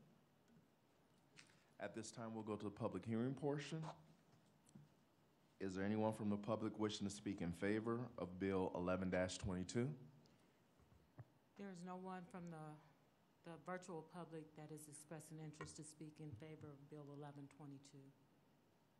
Okay, is there anybody here um, in, in, in the, in the chambers that wants to speak in favor of Bill eleven twenty-two? If not, uh, is there anyone that wishes to speak in opposition either here or virtually? There is no one um, wishing to speak in opposition of Bill 1122 as well. All right. At this point, the public hearing on Bill eleven twenty-two is now closed. Um, Again, council members, are there any, any statements, comments? No. If not, I will now entertain a motion regarding Bill eleven twenty-two. So moved. Second. There's a motion and a second. Clerk Oh, Jones? excuse me. Um, there You was, need to that- make a motion. I need to make a motion to, to send it favorably to the full council. Mhm. I would like to make a motion to send Bill 1122 for the full council with a favorable recommendation. Thank you. Second. There's been a motion and a second. Clerk Jones, will you please call the roll? Yes. Council, Councilmember Warner, Aye. Councilmember Wax, Aye. Councilmember White, Aye. Councilmember Tomas Morgan, Aye. Councilmember Hamann, Aye. Vice President Niezgodski, Aye. Councilmember Davis, Aye. Councilmember Lee, Aye. President McBride, Aye. nine ayes. All right. Um, Bill eleven twenty-two will be sent to the full council with a favorable recommendation. We will now hear Bill 14-22. Clerk Jones, would you give Bill 14-2 a second reading? Yes. Um, 1422, public hearing on an ordinance of the Common Council of the City of South Bend, Indiana, amending the South Bend Municipal Code at Chapter 2, Article 9, Section 2-129, to change the residency restriction of commission members. Is there a committee report?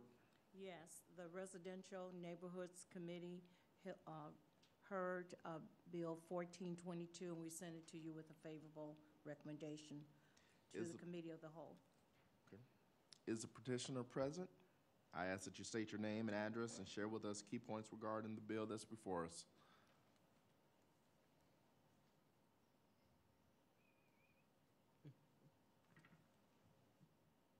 Victoria.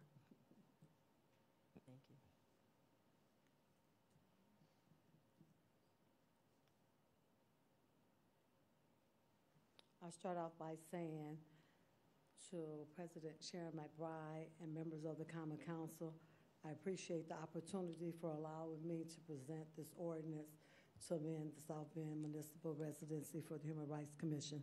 I am Yolanda Young hyphen Smith. I am the Executive Director of the Human Rights Commission, 319 North Niles Avenue, South Bend, Indiana, 46617 and I'll wait for her to pull up the presentation. I did present earlier, so I'll go through it quickly. Hopefully, uh, we can get out of here. so thank you.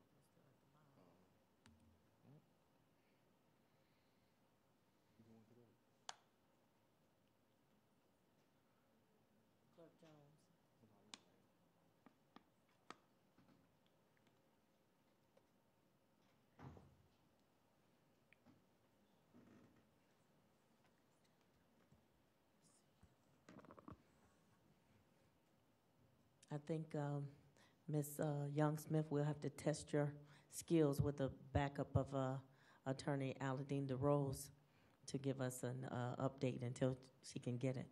Um, If you want to give an overview of the ordinance, I think that would be great.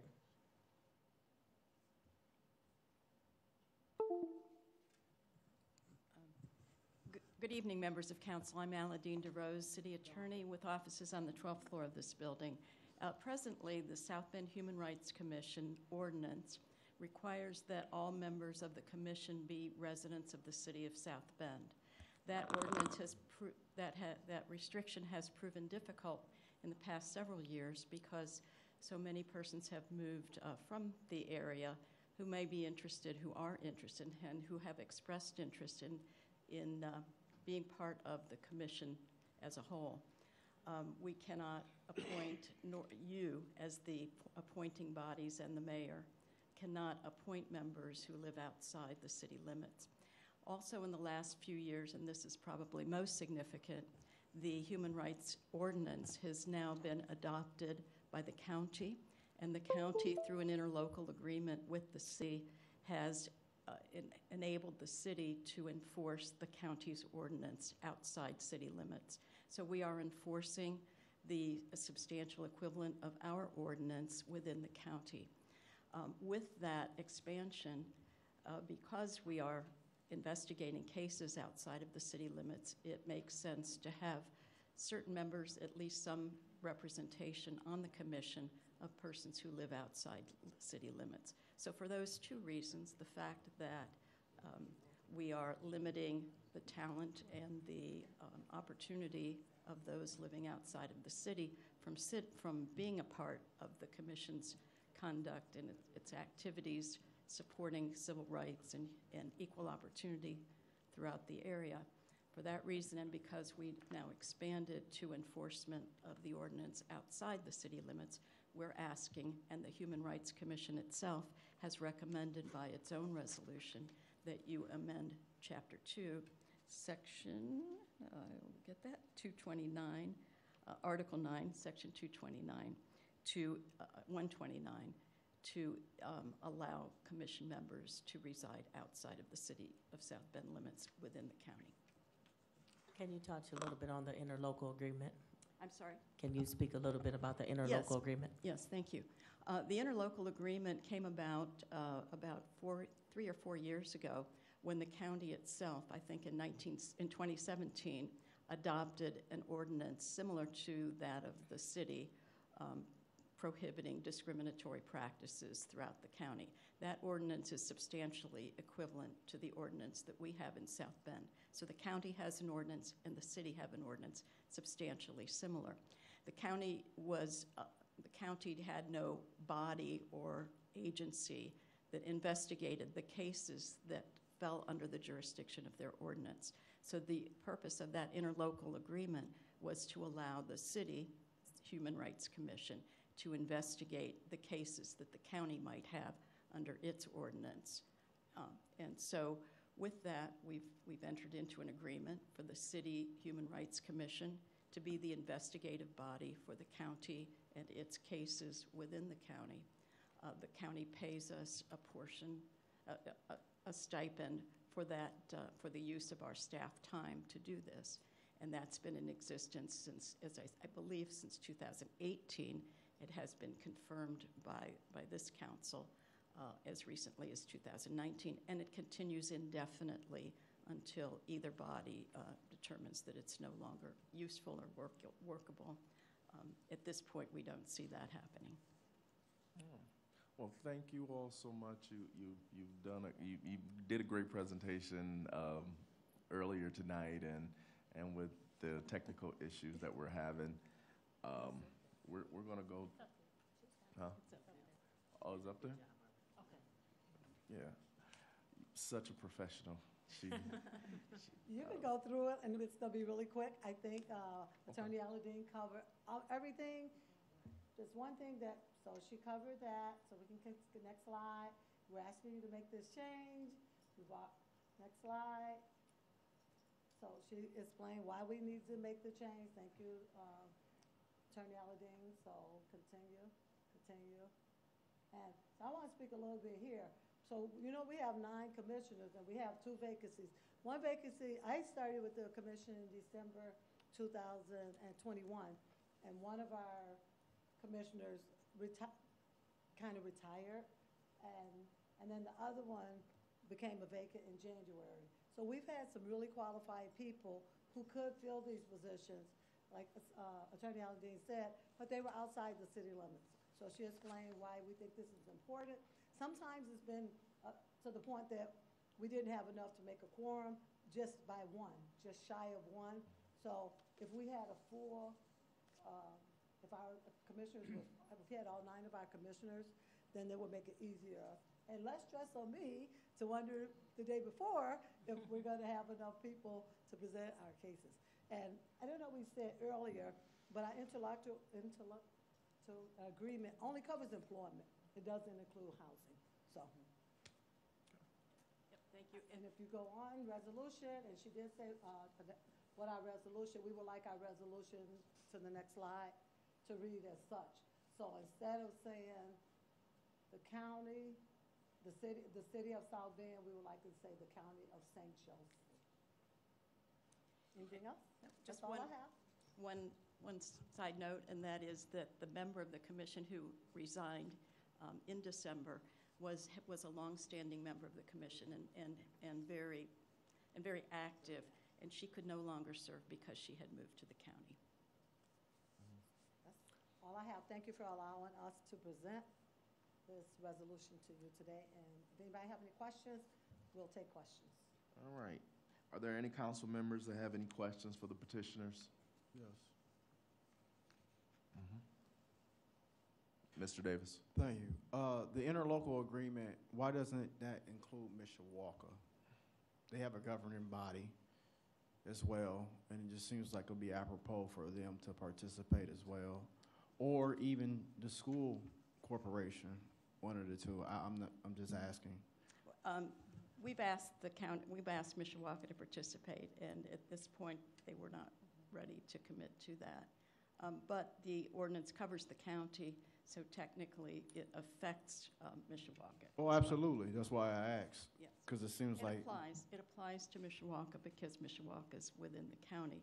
They're just not a part of the interlocal agreement. Yeah, that's what I'm talking about. I'm talking about the idea of them being a part of the conversation more than just a recipient. We had this conversation some years ago, and it was, it covered the whole argument about their governance and also ours, and us doing sort of the most, but they are not offering any assistance. I think we had a bill before this council, and I want to believe that it was the LGBT uh, Q plus bill before us, and they were really uh, unhappy with the fact that there was really no office outside of the city of South Bend, and that many of the members that came in here were residents of Mishawaka, asking us to change or give them an ordinance for protection. And at that point, we had a discussion about the Human Rights Commission and whether the Human Rights Commission should be expanded and also include Mishawaka. I'm not stepping on your baby, your idea. I, I really am not. But I do remember that conversation vividly because of the amount of people that came in from outside the city who are not voters of this city. And they got a bill passed for themselves that supported what they wanted to, and they lived outside of the city. So they were a- a- actually asking the city of South Bend to support what is not happening in Mishawaka. And I just thought that that was like, you know, kind of like, you know, a lot. But I'm going to support it. Thank you. I think Mishawaka does participate in many of this Human Rights Commission's activities, but in terms of being a part of the interlocal agreement, at that, at this time, they're not. They should be. Thank you. Any other council members? Councilman Hamann? Yes. Um, Earlier, Councilwoman Tomas Morgan asked if there would be, um, not sure if the wording was preference given to South Bend pro- before going to council or to um, board members from the county. And I'm just wondering, is there specific language that identifies how that takes place? Or, I can answer that question, and I think I, I hope I did for acceptably to Councilmember Tomas Morgan. Uh, There are no restrictions. However, what this does is allow the pool of applicants to be expanded. So we can provide to you, when you, the council, make your recommendations for appointment, and when the mayor makes his recommendations for appointment, we can provide you with an expanded list of persons who live not just in South Bend, but within the county as well. And from that, you would draw and you would select at your discretion those who you think would be the best fit for the commission. thank you. Anybody else? No one else? All right. Is there anyone from the public that would like to speak in favor of Bill fourteen twenty-two? There is no one from the public expressing interest to speak in favor of Bill 1422. Is there anyone from the public that wishes to speak in opposition of Bill fourteen twenty-two? There is no one from the public that is uh, expressing interest to speak in opposition of Bill 1422. Okay. At this point, the public hearing on Bill fourteen twenty-two is now closed. Uh, council members, are there statements that you would like to make regarding Bill fourteen twenty-two? Okay. I will now entertain a motion of regarding Bill fourteen twenty-two. I'd like to move that we send Bill fourteen twenty-two to the full council with a favorable recommendation. I'll second. All right. There's a motion and it's- and a second. Clerk Jones, could you please call the roll? Yes. Councilmember Wax? Aye. Councilmember White? Aye. Councilmember Tomas Morgan? Aye. Councilmember Hamann? Aye. Vice President Niezgodski? Aye. Councilmember Davis. Aye. Councilmember Lee. Aye. Councilmember Warner. Aye. President McBride. Aye. Nine ayes. Bill fourteen twenty-two will be sent to the full council with a favorable recommendation. I will now entertain a motion to rise from the committee of the whole and report back to the full council. So moved. Second. Clerk Jones, can you give us the roll, please? So far. We can do it. Oh, we can do it by acclamation. All in favor? Aye. Any opposed? The motion carries.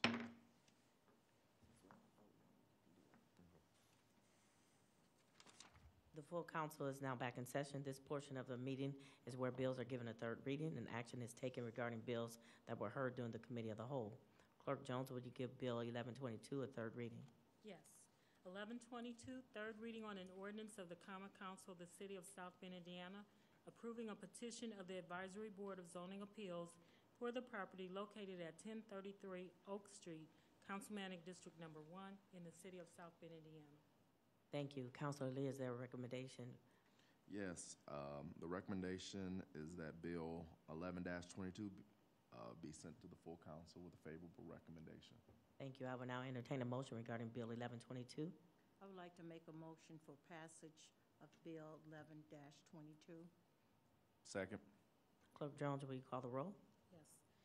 Yes. Councilmember Tomas Morgan. Aye. Councilmember Hamann. Aye. Vice President Niezgodski. Aye. Councilmember Davis. Aye. Councilmember Lee. Aye. Councilmember Warner. Aye. Councilmember Wax. Aye. Councilmember White. Aye. President McBride. Aye. Nine ayes. Thank you. Bill number 1122 has been adopted. Clerk Jones, will you give Bill 1422 a third reading? Yes.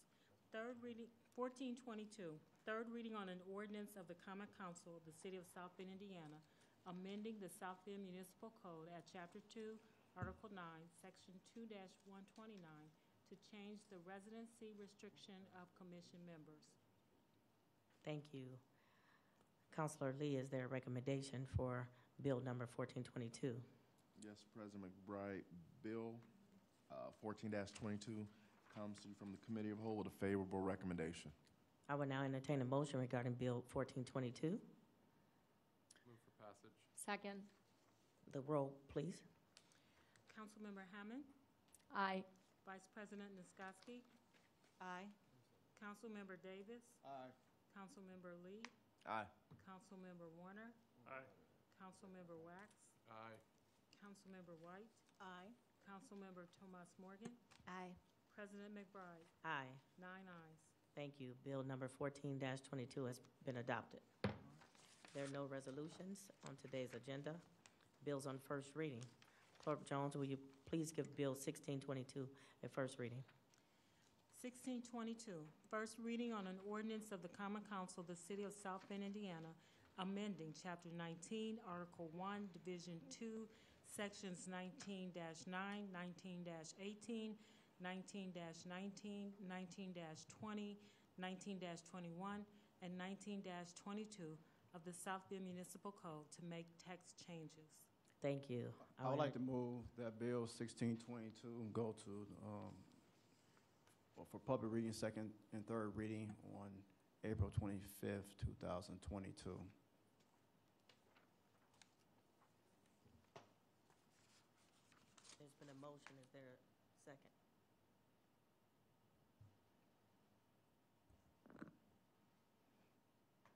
Will now entertain a motion uh, that Bill 1622 is sent to Parks and Residential Neighborhoods Committee For when? with- without a date. It goes to the committee without a date. I have a question So about that. I have a question about that. Yes, sir. Why would it not receive a date in a hearing? That's a bill that's been filed uh, to support uh, not only the second district, but the entire city. And it's not coming from me, it's coming from my neighborhood associations. One person is here right now. And there has to be a conversation on how do we uh, clean these neighborhoods up with all of these trees and all this shrubbery from Thousand Houses and Thousand Days, or people who just don't want to uh, clean it up.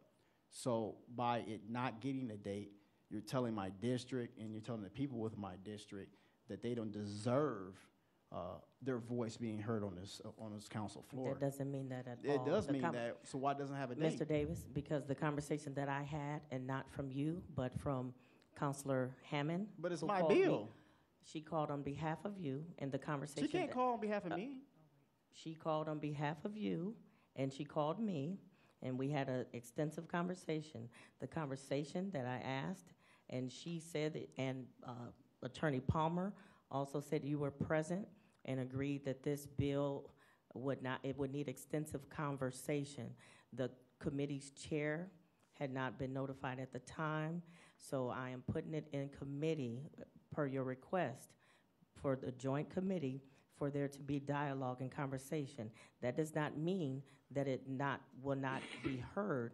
That means that we all need to have an opportunity for the people that it will touch to have a conversation so we can make sure that it is uh, passed and that it would be um, heard by the committee, heard by the administrators who need to be involved and all the stakeholders. So the So you're- conversation that I had on You're behalf assuming of that you. that that hasn't happened. I've had that I was, conversation. I was told that it was, it did not happen. But she didn't know, and you should have called me. You didn't call me, you had her But I call don't have me. to call you. You had her call and speak on your behalf. No, she said that she was calling you because she was looking for another sponsor.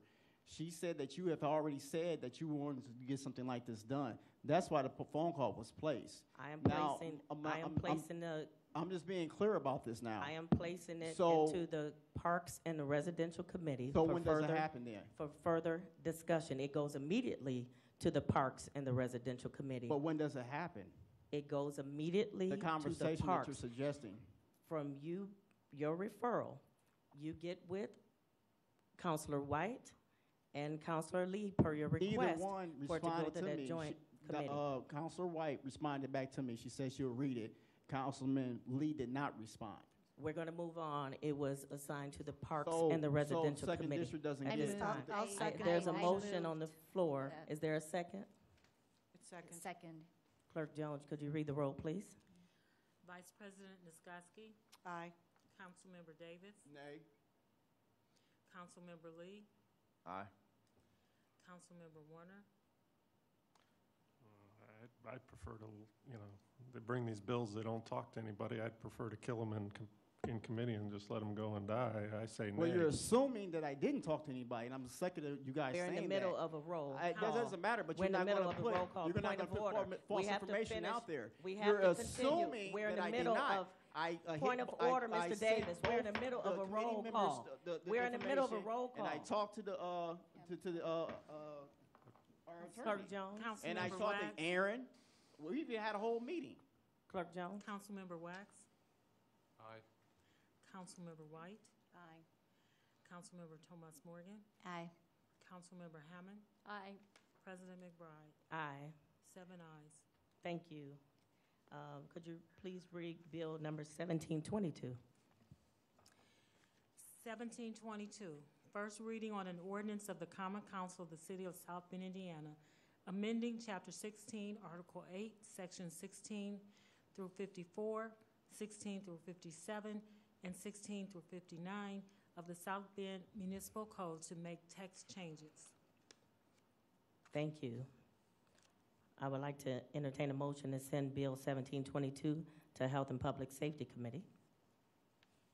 So moved. Second. Clerk Jones, the roll, please. Councilmember Davis? Aye. Councilmember Lee? Aye. Councilmember Warner? No. Councilmember Wax? Aye. Councilmember White? Aye. Councilmember Tomas Morgan? Aye. Councilmember Hamann? Aye. Vice President Niezgodski? Aye. President McBride? Aye. Eight ayes. Thank you. The motion is carried.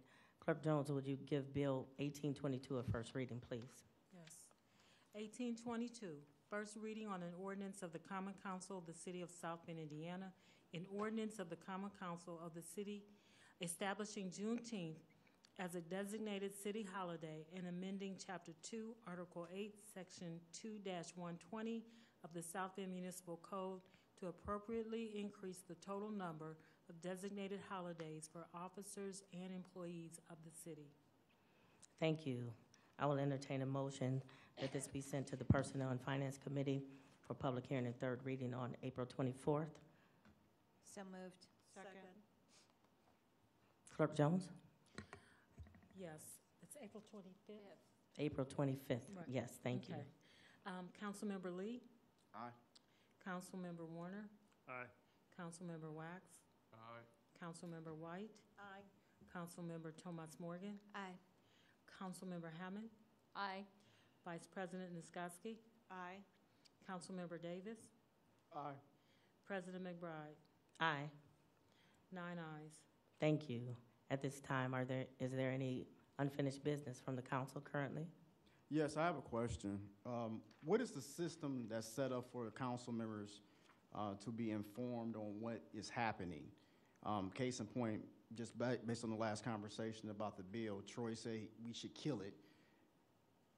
We assume that I haven't talked to a uh, department head. We assume that I haven't talked to uh, the committee chairs. We assume that those things didn't happen. All of those things happened.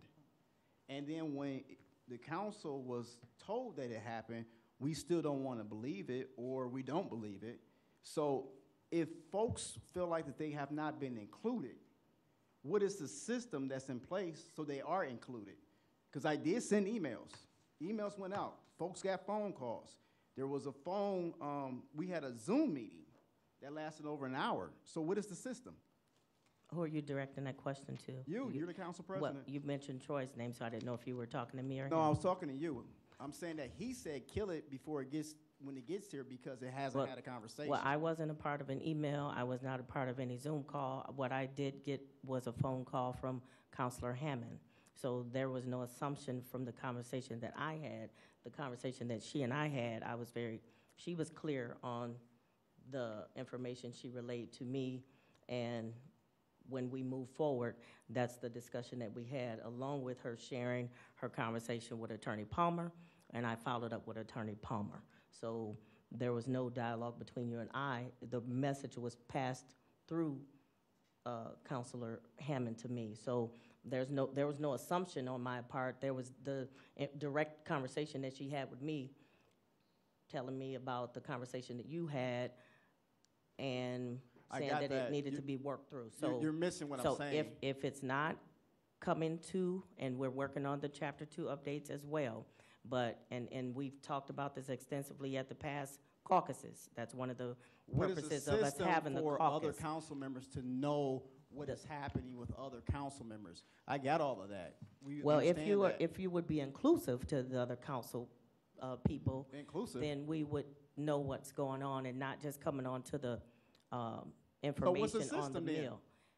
What's the system? Eh, Communicate. You're, you're, you're saying something. Communicate with the council. So when a person wants to file a bill, we need to communicate with the entire council You need to- filing the bill. At least you need to co- communicate with the chair of the committee.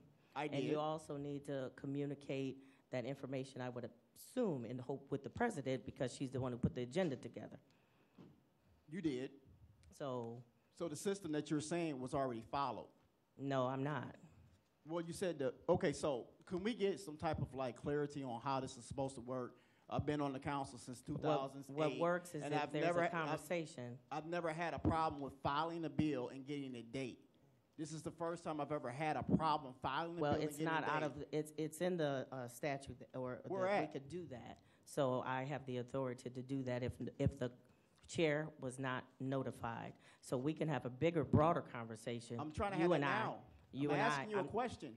And I What the answered the system? question. If you're not satisfied with the question, that's not I'm not my satisfied with your answer. your- I asked the if- question. If you're not satisfied with the answer, then that would be what you Councilman take out of it. seriously, this is nuts. You've been on this council for a lot of years, a lot of terms, and you have never seen, I've never seen that happen.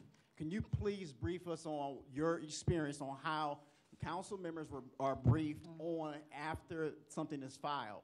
And- Council- and- 'cause we're Councilmember coming up with Davis, new rules as we go. that discussion is between you and the president. Uh, the You too, because president- you're on the council, so if you file a Yes. bill, you're gonna be held to the same standard, I hope. Yes. We had a have bill no last with year that. that went I to have no committee. problems It with was, that at all. uh, it went to my committee because you didn't want to take the bill. It was a utility ba- rates bill. I'm It allowed got that. set without a date because we set multiple hearings on it so we could have lots of public discussion. You're allowed that as a committee chair. Yeah. Uh, That's So not what I'm questioning, sir. I'm questioning the system in Parliamentarian, would you like to clarify, please? He can't, because there's no system. He can clarify. Normally, bills are given uh, a date for a second reading, but that's uh, entirely up to the discretion of the um, uh, chairman of that committee. Uh, Apparently, uh, chairman of the committees were not uh, involved in, in these discussions, so that um, uh, they are not, as I understand it, they are not being set for a second reading yet until there are further discussions on the bill, both with the community and with the uh, uh, chairman of the committees they're assigned to. We got that. You're still not giving me clarity on a one, two, and three. You're just stating what has happened. We know that. I'm asking for a one, two, and three, four, and five if possible. I don't know. But if a council member files a bill on the date that it's due, then it's up to your discretion as the council president to say yes or no. Is what you just said. At- And- and- and- and that's fine. I'm, I'm good with that. But let that be it. Don't say because council member did not communicate with council chairman of each committee, nor did he have a discussion with the director of those uh, different departments. If that's the case, then there has to be a one, two, and three in order for that to be uh, uh, solidified. And I'm not, did I'm you, not, uh, this did you could have happen a, to anybody did you here. have a, did you have a conversation with Counselor Wax regarding no, I didn't have a conversation bill? with Mr. Wax. That's a point, point taken, that the reason why that code is not with a date, Why would I have a conversation with him? because the bill number It wasn't public safety. It was supposed to have gone to, so that's a mistake. It was supposed to have gone to, uh, Park and Rec and, That's bill number sixteen twenty-two. yeah, I know. That's residential and parks. But seventeen twenty-two, a code, that's health and public safety. Sure. That's why, so that's my question. It wasn't supposed Wax- to have gone there. That's what I'm saying to you. That's a mistake as No, that's not a mistake. That's where that code violation goes to health and. Well, public how safety. can you tell me it's not a mistake and it's my bill? Code, it still has to be assigned to the correct committee. But it was Code is supposed a to have health gone and to public safety Health and Public committee. Safety just as well as, what was it, Bob? It was another one. Um, uh, neighborhoods. That's what the other conversation was supposed to happen with. So that's why Mr. Lee and Mrs. White, Miss White was uh, con- connected with or contacted. That was because of the tree ordinance and parks and the conversation with uh, Aaron That- Perri. I'm, I'm just asking for a one, two, and three. That's it. If that's if, that, if that's how we're going to be operating, I have no problem with That's that. but I- I- exactly. When I just asked if you talked to, and like I said, when I have those agendas, the attorney is present, and the code violations falls under health and public safety. It's no trying to pinpoint, call anybody out. That goes under health and public safety. That's fine. I just- Wax I'm- was I'm- not notified. That's So fine. that's I'm why just we're asking trying for to a follow the. system in That's the place. system. So, okay, so you just came up with that because we've No, never, we've that's never the operated system. like that. I've been on this council If since you- if the 2008. chair- we've never operated like If the chair was not familiar, we've never operated like that. Uh, count, uh, we uh, need to, President we uh, could, McBride. if we We've continue never to have operated like that. conversation, well, this is how it's gonna go. Now, I would, Well, then at that this needs to be a time- policy of the council that's adopted. And we are working on that as well with the ch- chapter two, which you know that we're working on chapter two updates. That's one of the ones that we will be more uniform with what we are doing and how bills are presented, as well as we talked about emulating uh, or looking at the county's uh, system as well and not having first, second, third reading on the same night. So that's still a working process that the Rules Committee is upgrading with the city and county attorney as well. So we are moving forward with what we've talked about. I remember at least two years ago at the retreat about cleaning up chapter two, and that's one of the processes. Yeah, I got that, and I'm fine with So that. thank Thank you. you. Is I'm there just any other new business? There needs to be a system put in place. We, thank you, I appreciate that. Yeah, it needs Is to be on there any paper other? too. I'm Huh? sorry. It needs to be on paper too. Absolutely. Yeah. Absolutely. Is there any other new business? Yeah, there's new business. That's old business. I do have new business. I want to invite everybody out to, um, for six o'clock tomorrow is a meeting at, um, the LaSalle Park Neighborhood Association is hosting, um, at about Washington High School and even more so the west side. And it starts at six PM. It's at the Charles Black Recreational Center. And it's, uh, in response to the removal of a pre- uh, principal at Washington High School, but there are other issues that are connected. So all of you are invited, come as you are, or, or, you know, if you don't, if you can't, you know, sure, that's fine as well. So just wanted to update that. Also, um, and I'm gonna be as quick as I can with this one. Um, I receive really bad e- voicemails from someone. We can't track it back. I've sent to IT. Um, everybody was uh, empathetic with the gentleman and the way that he um, behaves and calling me. I don't know if anyone else gets those phone calls, but I get them. Yeah, so we do. Yeah, and so I there. So where I'm going with this is not necessarily with him because it's just a phone call, right? It's words, but you know something to look at because people can get cr- a bit crazy. Um, you have an issue right now. Um, same conversation about Beck's Lake and the fact that you have people that still live over that area. I grew up in the area. Sharon, you grew up over there. Karen, you're from over in that area as well. Uh, and there's so many other people that have worked for the city, that work for the city that's from over there. And as we are continuing the discussion about contamination, I find it really odd that we're talking about contamination in the present tense. Um, we were victims. We grew up out there. We drank that water. Uh, we played in those playgrounds, etc. So we were victimized when we were growing up. No one is saying that the lead levels are dangerous now. It's clear. But you're still standing on top of a dump. That hill is a collection of all the outhouses that people lived in, and it's still trash. That's still trash. We can beautify it, we can say that it's fun sledding down it, but it's still trash. My point is that if we are not sensitive enough to what is happening with those people, and then we hear from our mayor saying that it's, we can put, build more basketball courts, then my next question is when can we start planting more watermelon? Because that's how I feel. I feel that the, the statement itself in itself and, and the way that it was presented was racist. I believe that that was that's called um, environmental racism. It's a real thing. When people are allowed to and, and to live in an environment that impacts their health the way that that has. There's all kinds of people that have died of cancer. I used to be a paper boy over there. I know know those people. So I'm trying to im- impress upon your um, morals, um, your heart, that this situation, yes, it's fine now, but we grew up out there. I grew up on Sheridan. You were off of uh, uh, Washington. I think that you talk about Kenmore Street a lot. This, this is our home. We were impacted, victimized. There needs to be more discussion, and it needs to be more of a plan because the trash is still sitting out there. We're still impacted. Thank you. Anyone else? I would just want to um, clarify that we had scheduled a residential neighborhood um, committee for April 14th. We had to reschedule that because there are other meetings and individuals who would be part of the presentation. Uh, They have uh, scheduling conflicts. I thought that we could move it to April the 18th. I was, I failed to realize that that is a very busy day and evening, so I'm looking at April the 19th. I will email committee members to see if they are available and also if the chamber is available. I'll send out an email either late tonight or early tomorrow morning. Counselor Tomas Morgan. Yeah, President McBride, I just want to remind people of um, meetings uh, where we're gathering public input on the next home repair program. I attended um, the one at Howard Park on April 7th, and um, it's a really great process in place to receive this public feedback.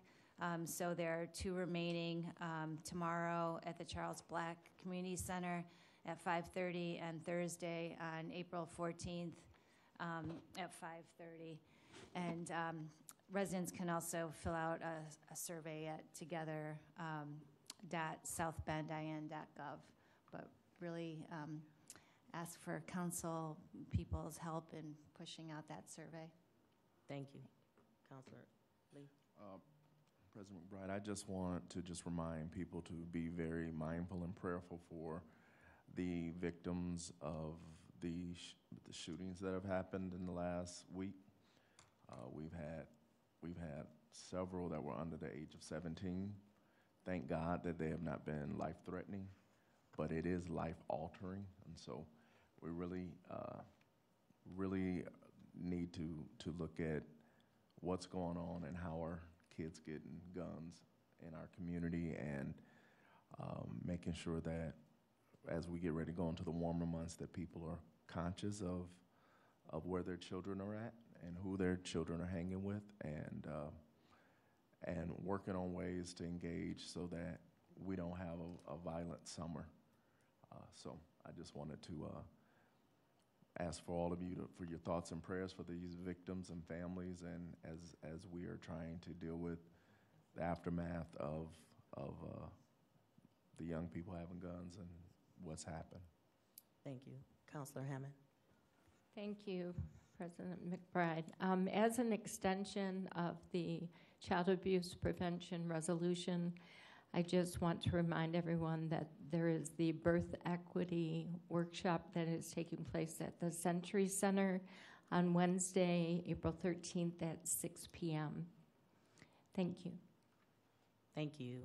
And I also like to invite people, if you're not doing anything on Wednesday at 5 o'clock at the Center Branch Library, I will be speaking about the book and the movie Just Mercy, talking about uh, injustices and equality for people on uh, getting out of prison and needing assistance and uh, help for second chances. Thank you. At this time, we will move to the privilege of the floor. Disrespectful, rude, or disruptive speech or actions will not be tolerated. Such speech or actions, as well as verbal attacks on any person, may result in an indiv- individual without notice forfeiting the remainder of his or her allotted time. Individuals who wish to address the council must state their name and residential address. Individuals will be limited to three minutes only. The maximum time limit for this portion of the meeting shall be 30 minutes. Individuals shall not be permitted to address topics in which the council has heard previously tonight on the agenda. The council president may assign a topic raised by an individual during the privileges of the floor to the appropriate council member and to request the city clerk to contact a member of the city administration for review and topics assigned shall be responded to by the next scheduled council meeting. Is there anybody wishing to speak for the privilege of the floor at this time? There, we do have someone virtually, uh, Ellen Stecker. Uh, Ms. Stecker, if you could unmute yourself and state your name and your address for the record, please. Uh, thank you very much for allowing this time. Uh, my name is Ellen Stecker. I live at 1036 North Niles Avenue in South Bend, and I'm here to ask you all for your help with the enforcement of several city ordinances, specifically those involving noise, obstructing signs, and traffic obstruction of a, of a business.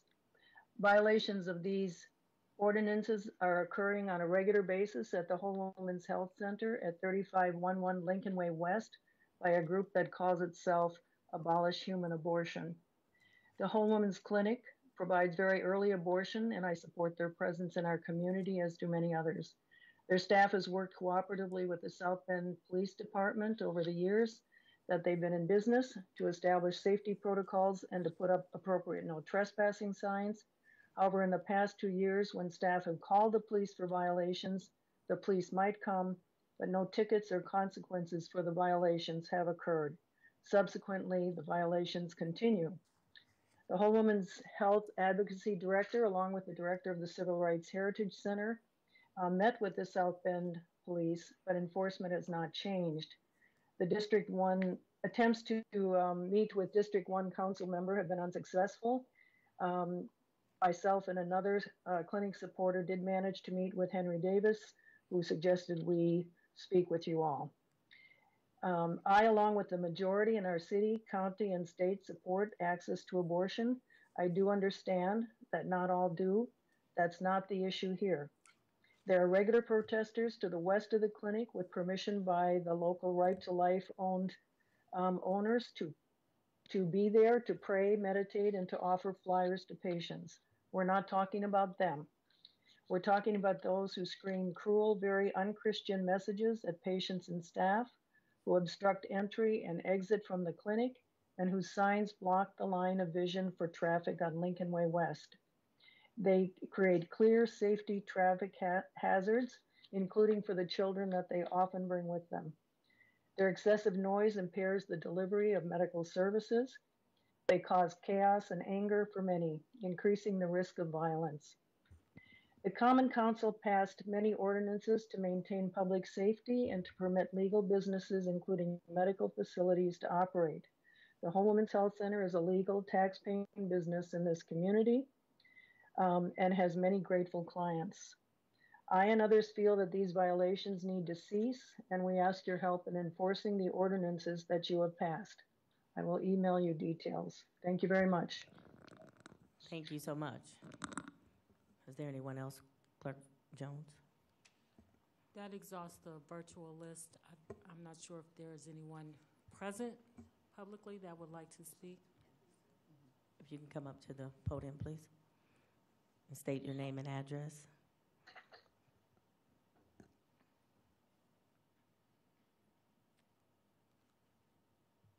I'm not sure if I'm in line, out of line, but I'm a little bit upset. Um, my name is Marilyn Gushaw, and I live at 2514 Kenwood, South Bend, Indiana 46628. Uh, about a week ago, I called Councilman Davis. I actually have a phone full of pictures to support. In my neighborhood, um, the 1,000 homes in 1,000 days was impacted by that program. So we have a lot of vacant lots. We previously had vacant lots, but in the meantime, there's a lot of overgrown trees. There's a lot of large branches. Neighbors do not have the equipment to actually handle the branches, so I called the forestry department, and they said it was not something they could take care of because of the location of the trees, and so I called Henry. And I was asking for some kind of support. We're always talking about beautification. We're talking about making Martin Luther King Center the heart of my neighborhood. Actually, putting $11 million into that particular corner and all the arteries leading up to Martin Luther King um, are scary. I don't even know how people would want to go to such a building if they drive through those particular neighborhoods. So I'm asking the council to, at some point, support whatever you have to do to help Henry get what he's trying to do so that you guys can review what's going on in my neighborhood. I pay taxes. I have neighbors that pay taxes. I'm a homeowner. We live in a neighborhood that we've lived in for over 60 plus years, and my father actually built the house. So we're not moving. We've actually put money into our property. Um, and I'm sure we'll be there until my mother, who's 92, if she decides at some point to go into a nursing home or something like that. Otherwise, we'll be there. So I would like support so that you guys can take up this issue and help us beautify our neighborhood. That's what I'm asking. Thank you. Thank you so much for your time. And with that, I will call this meeting adjourned. Have a good night.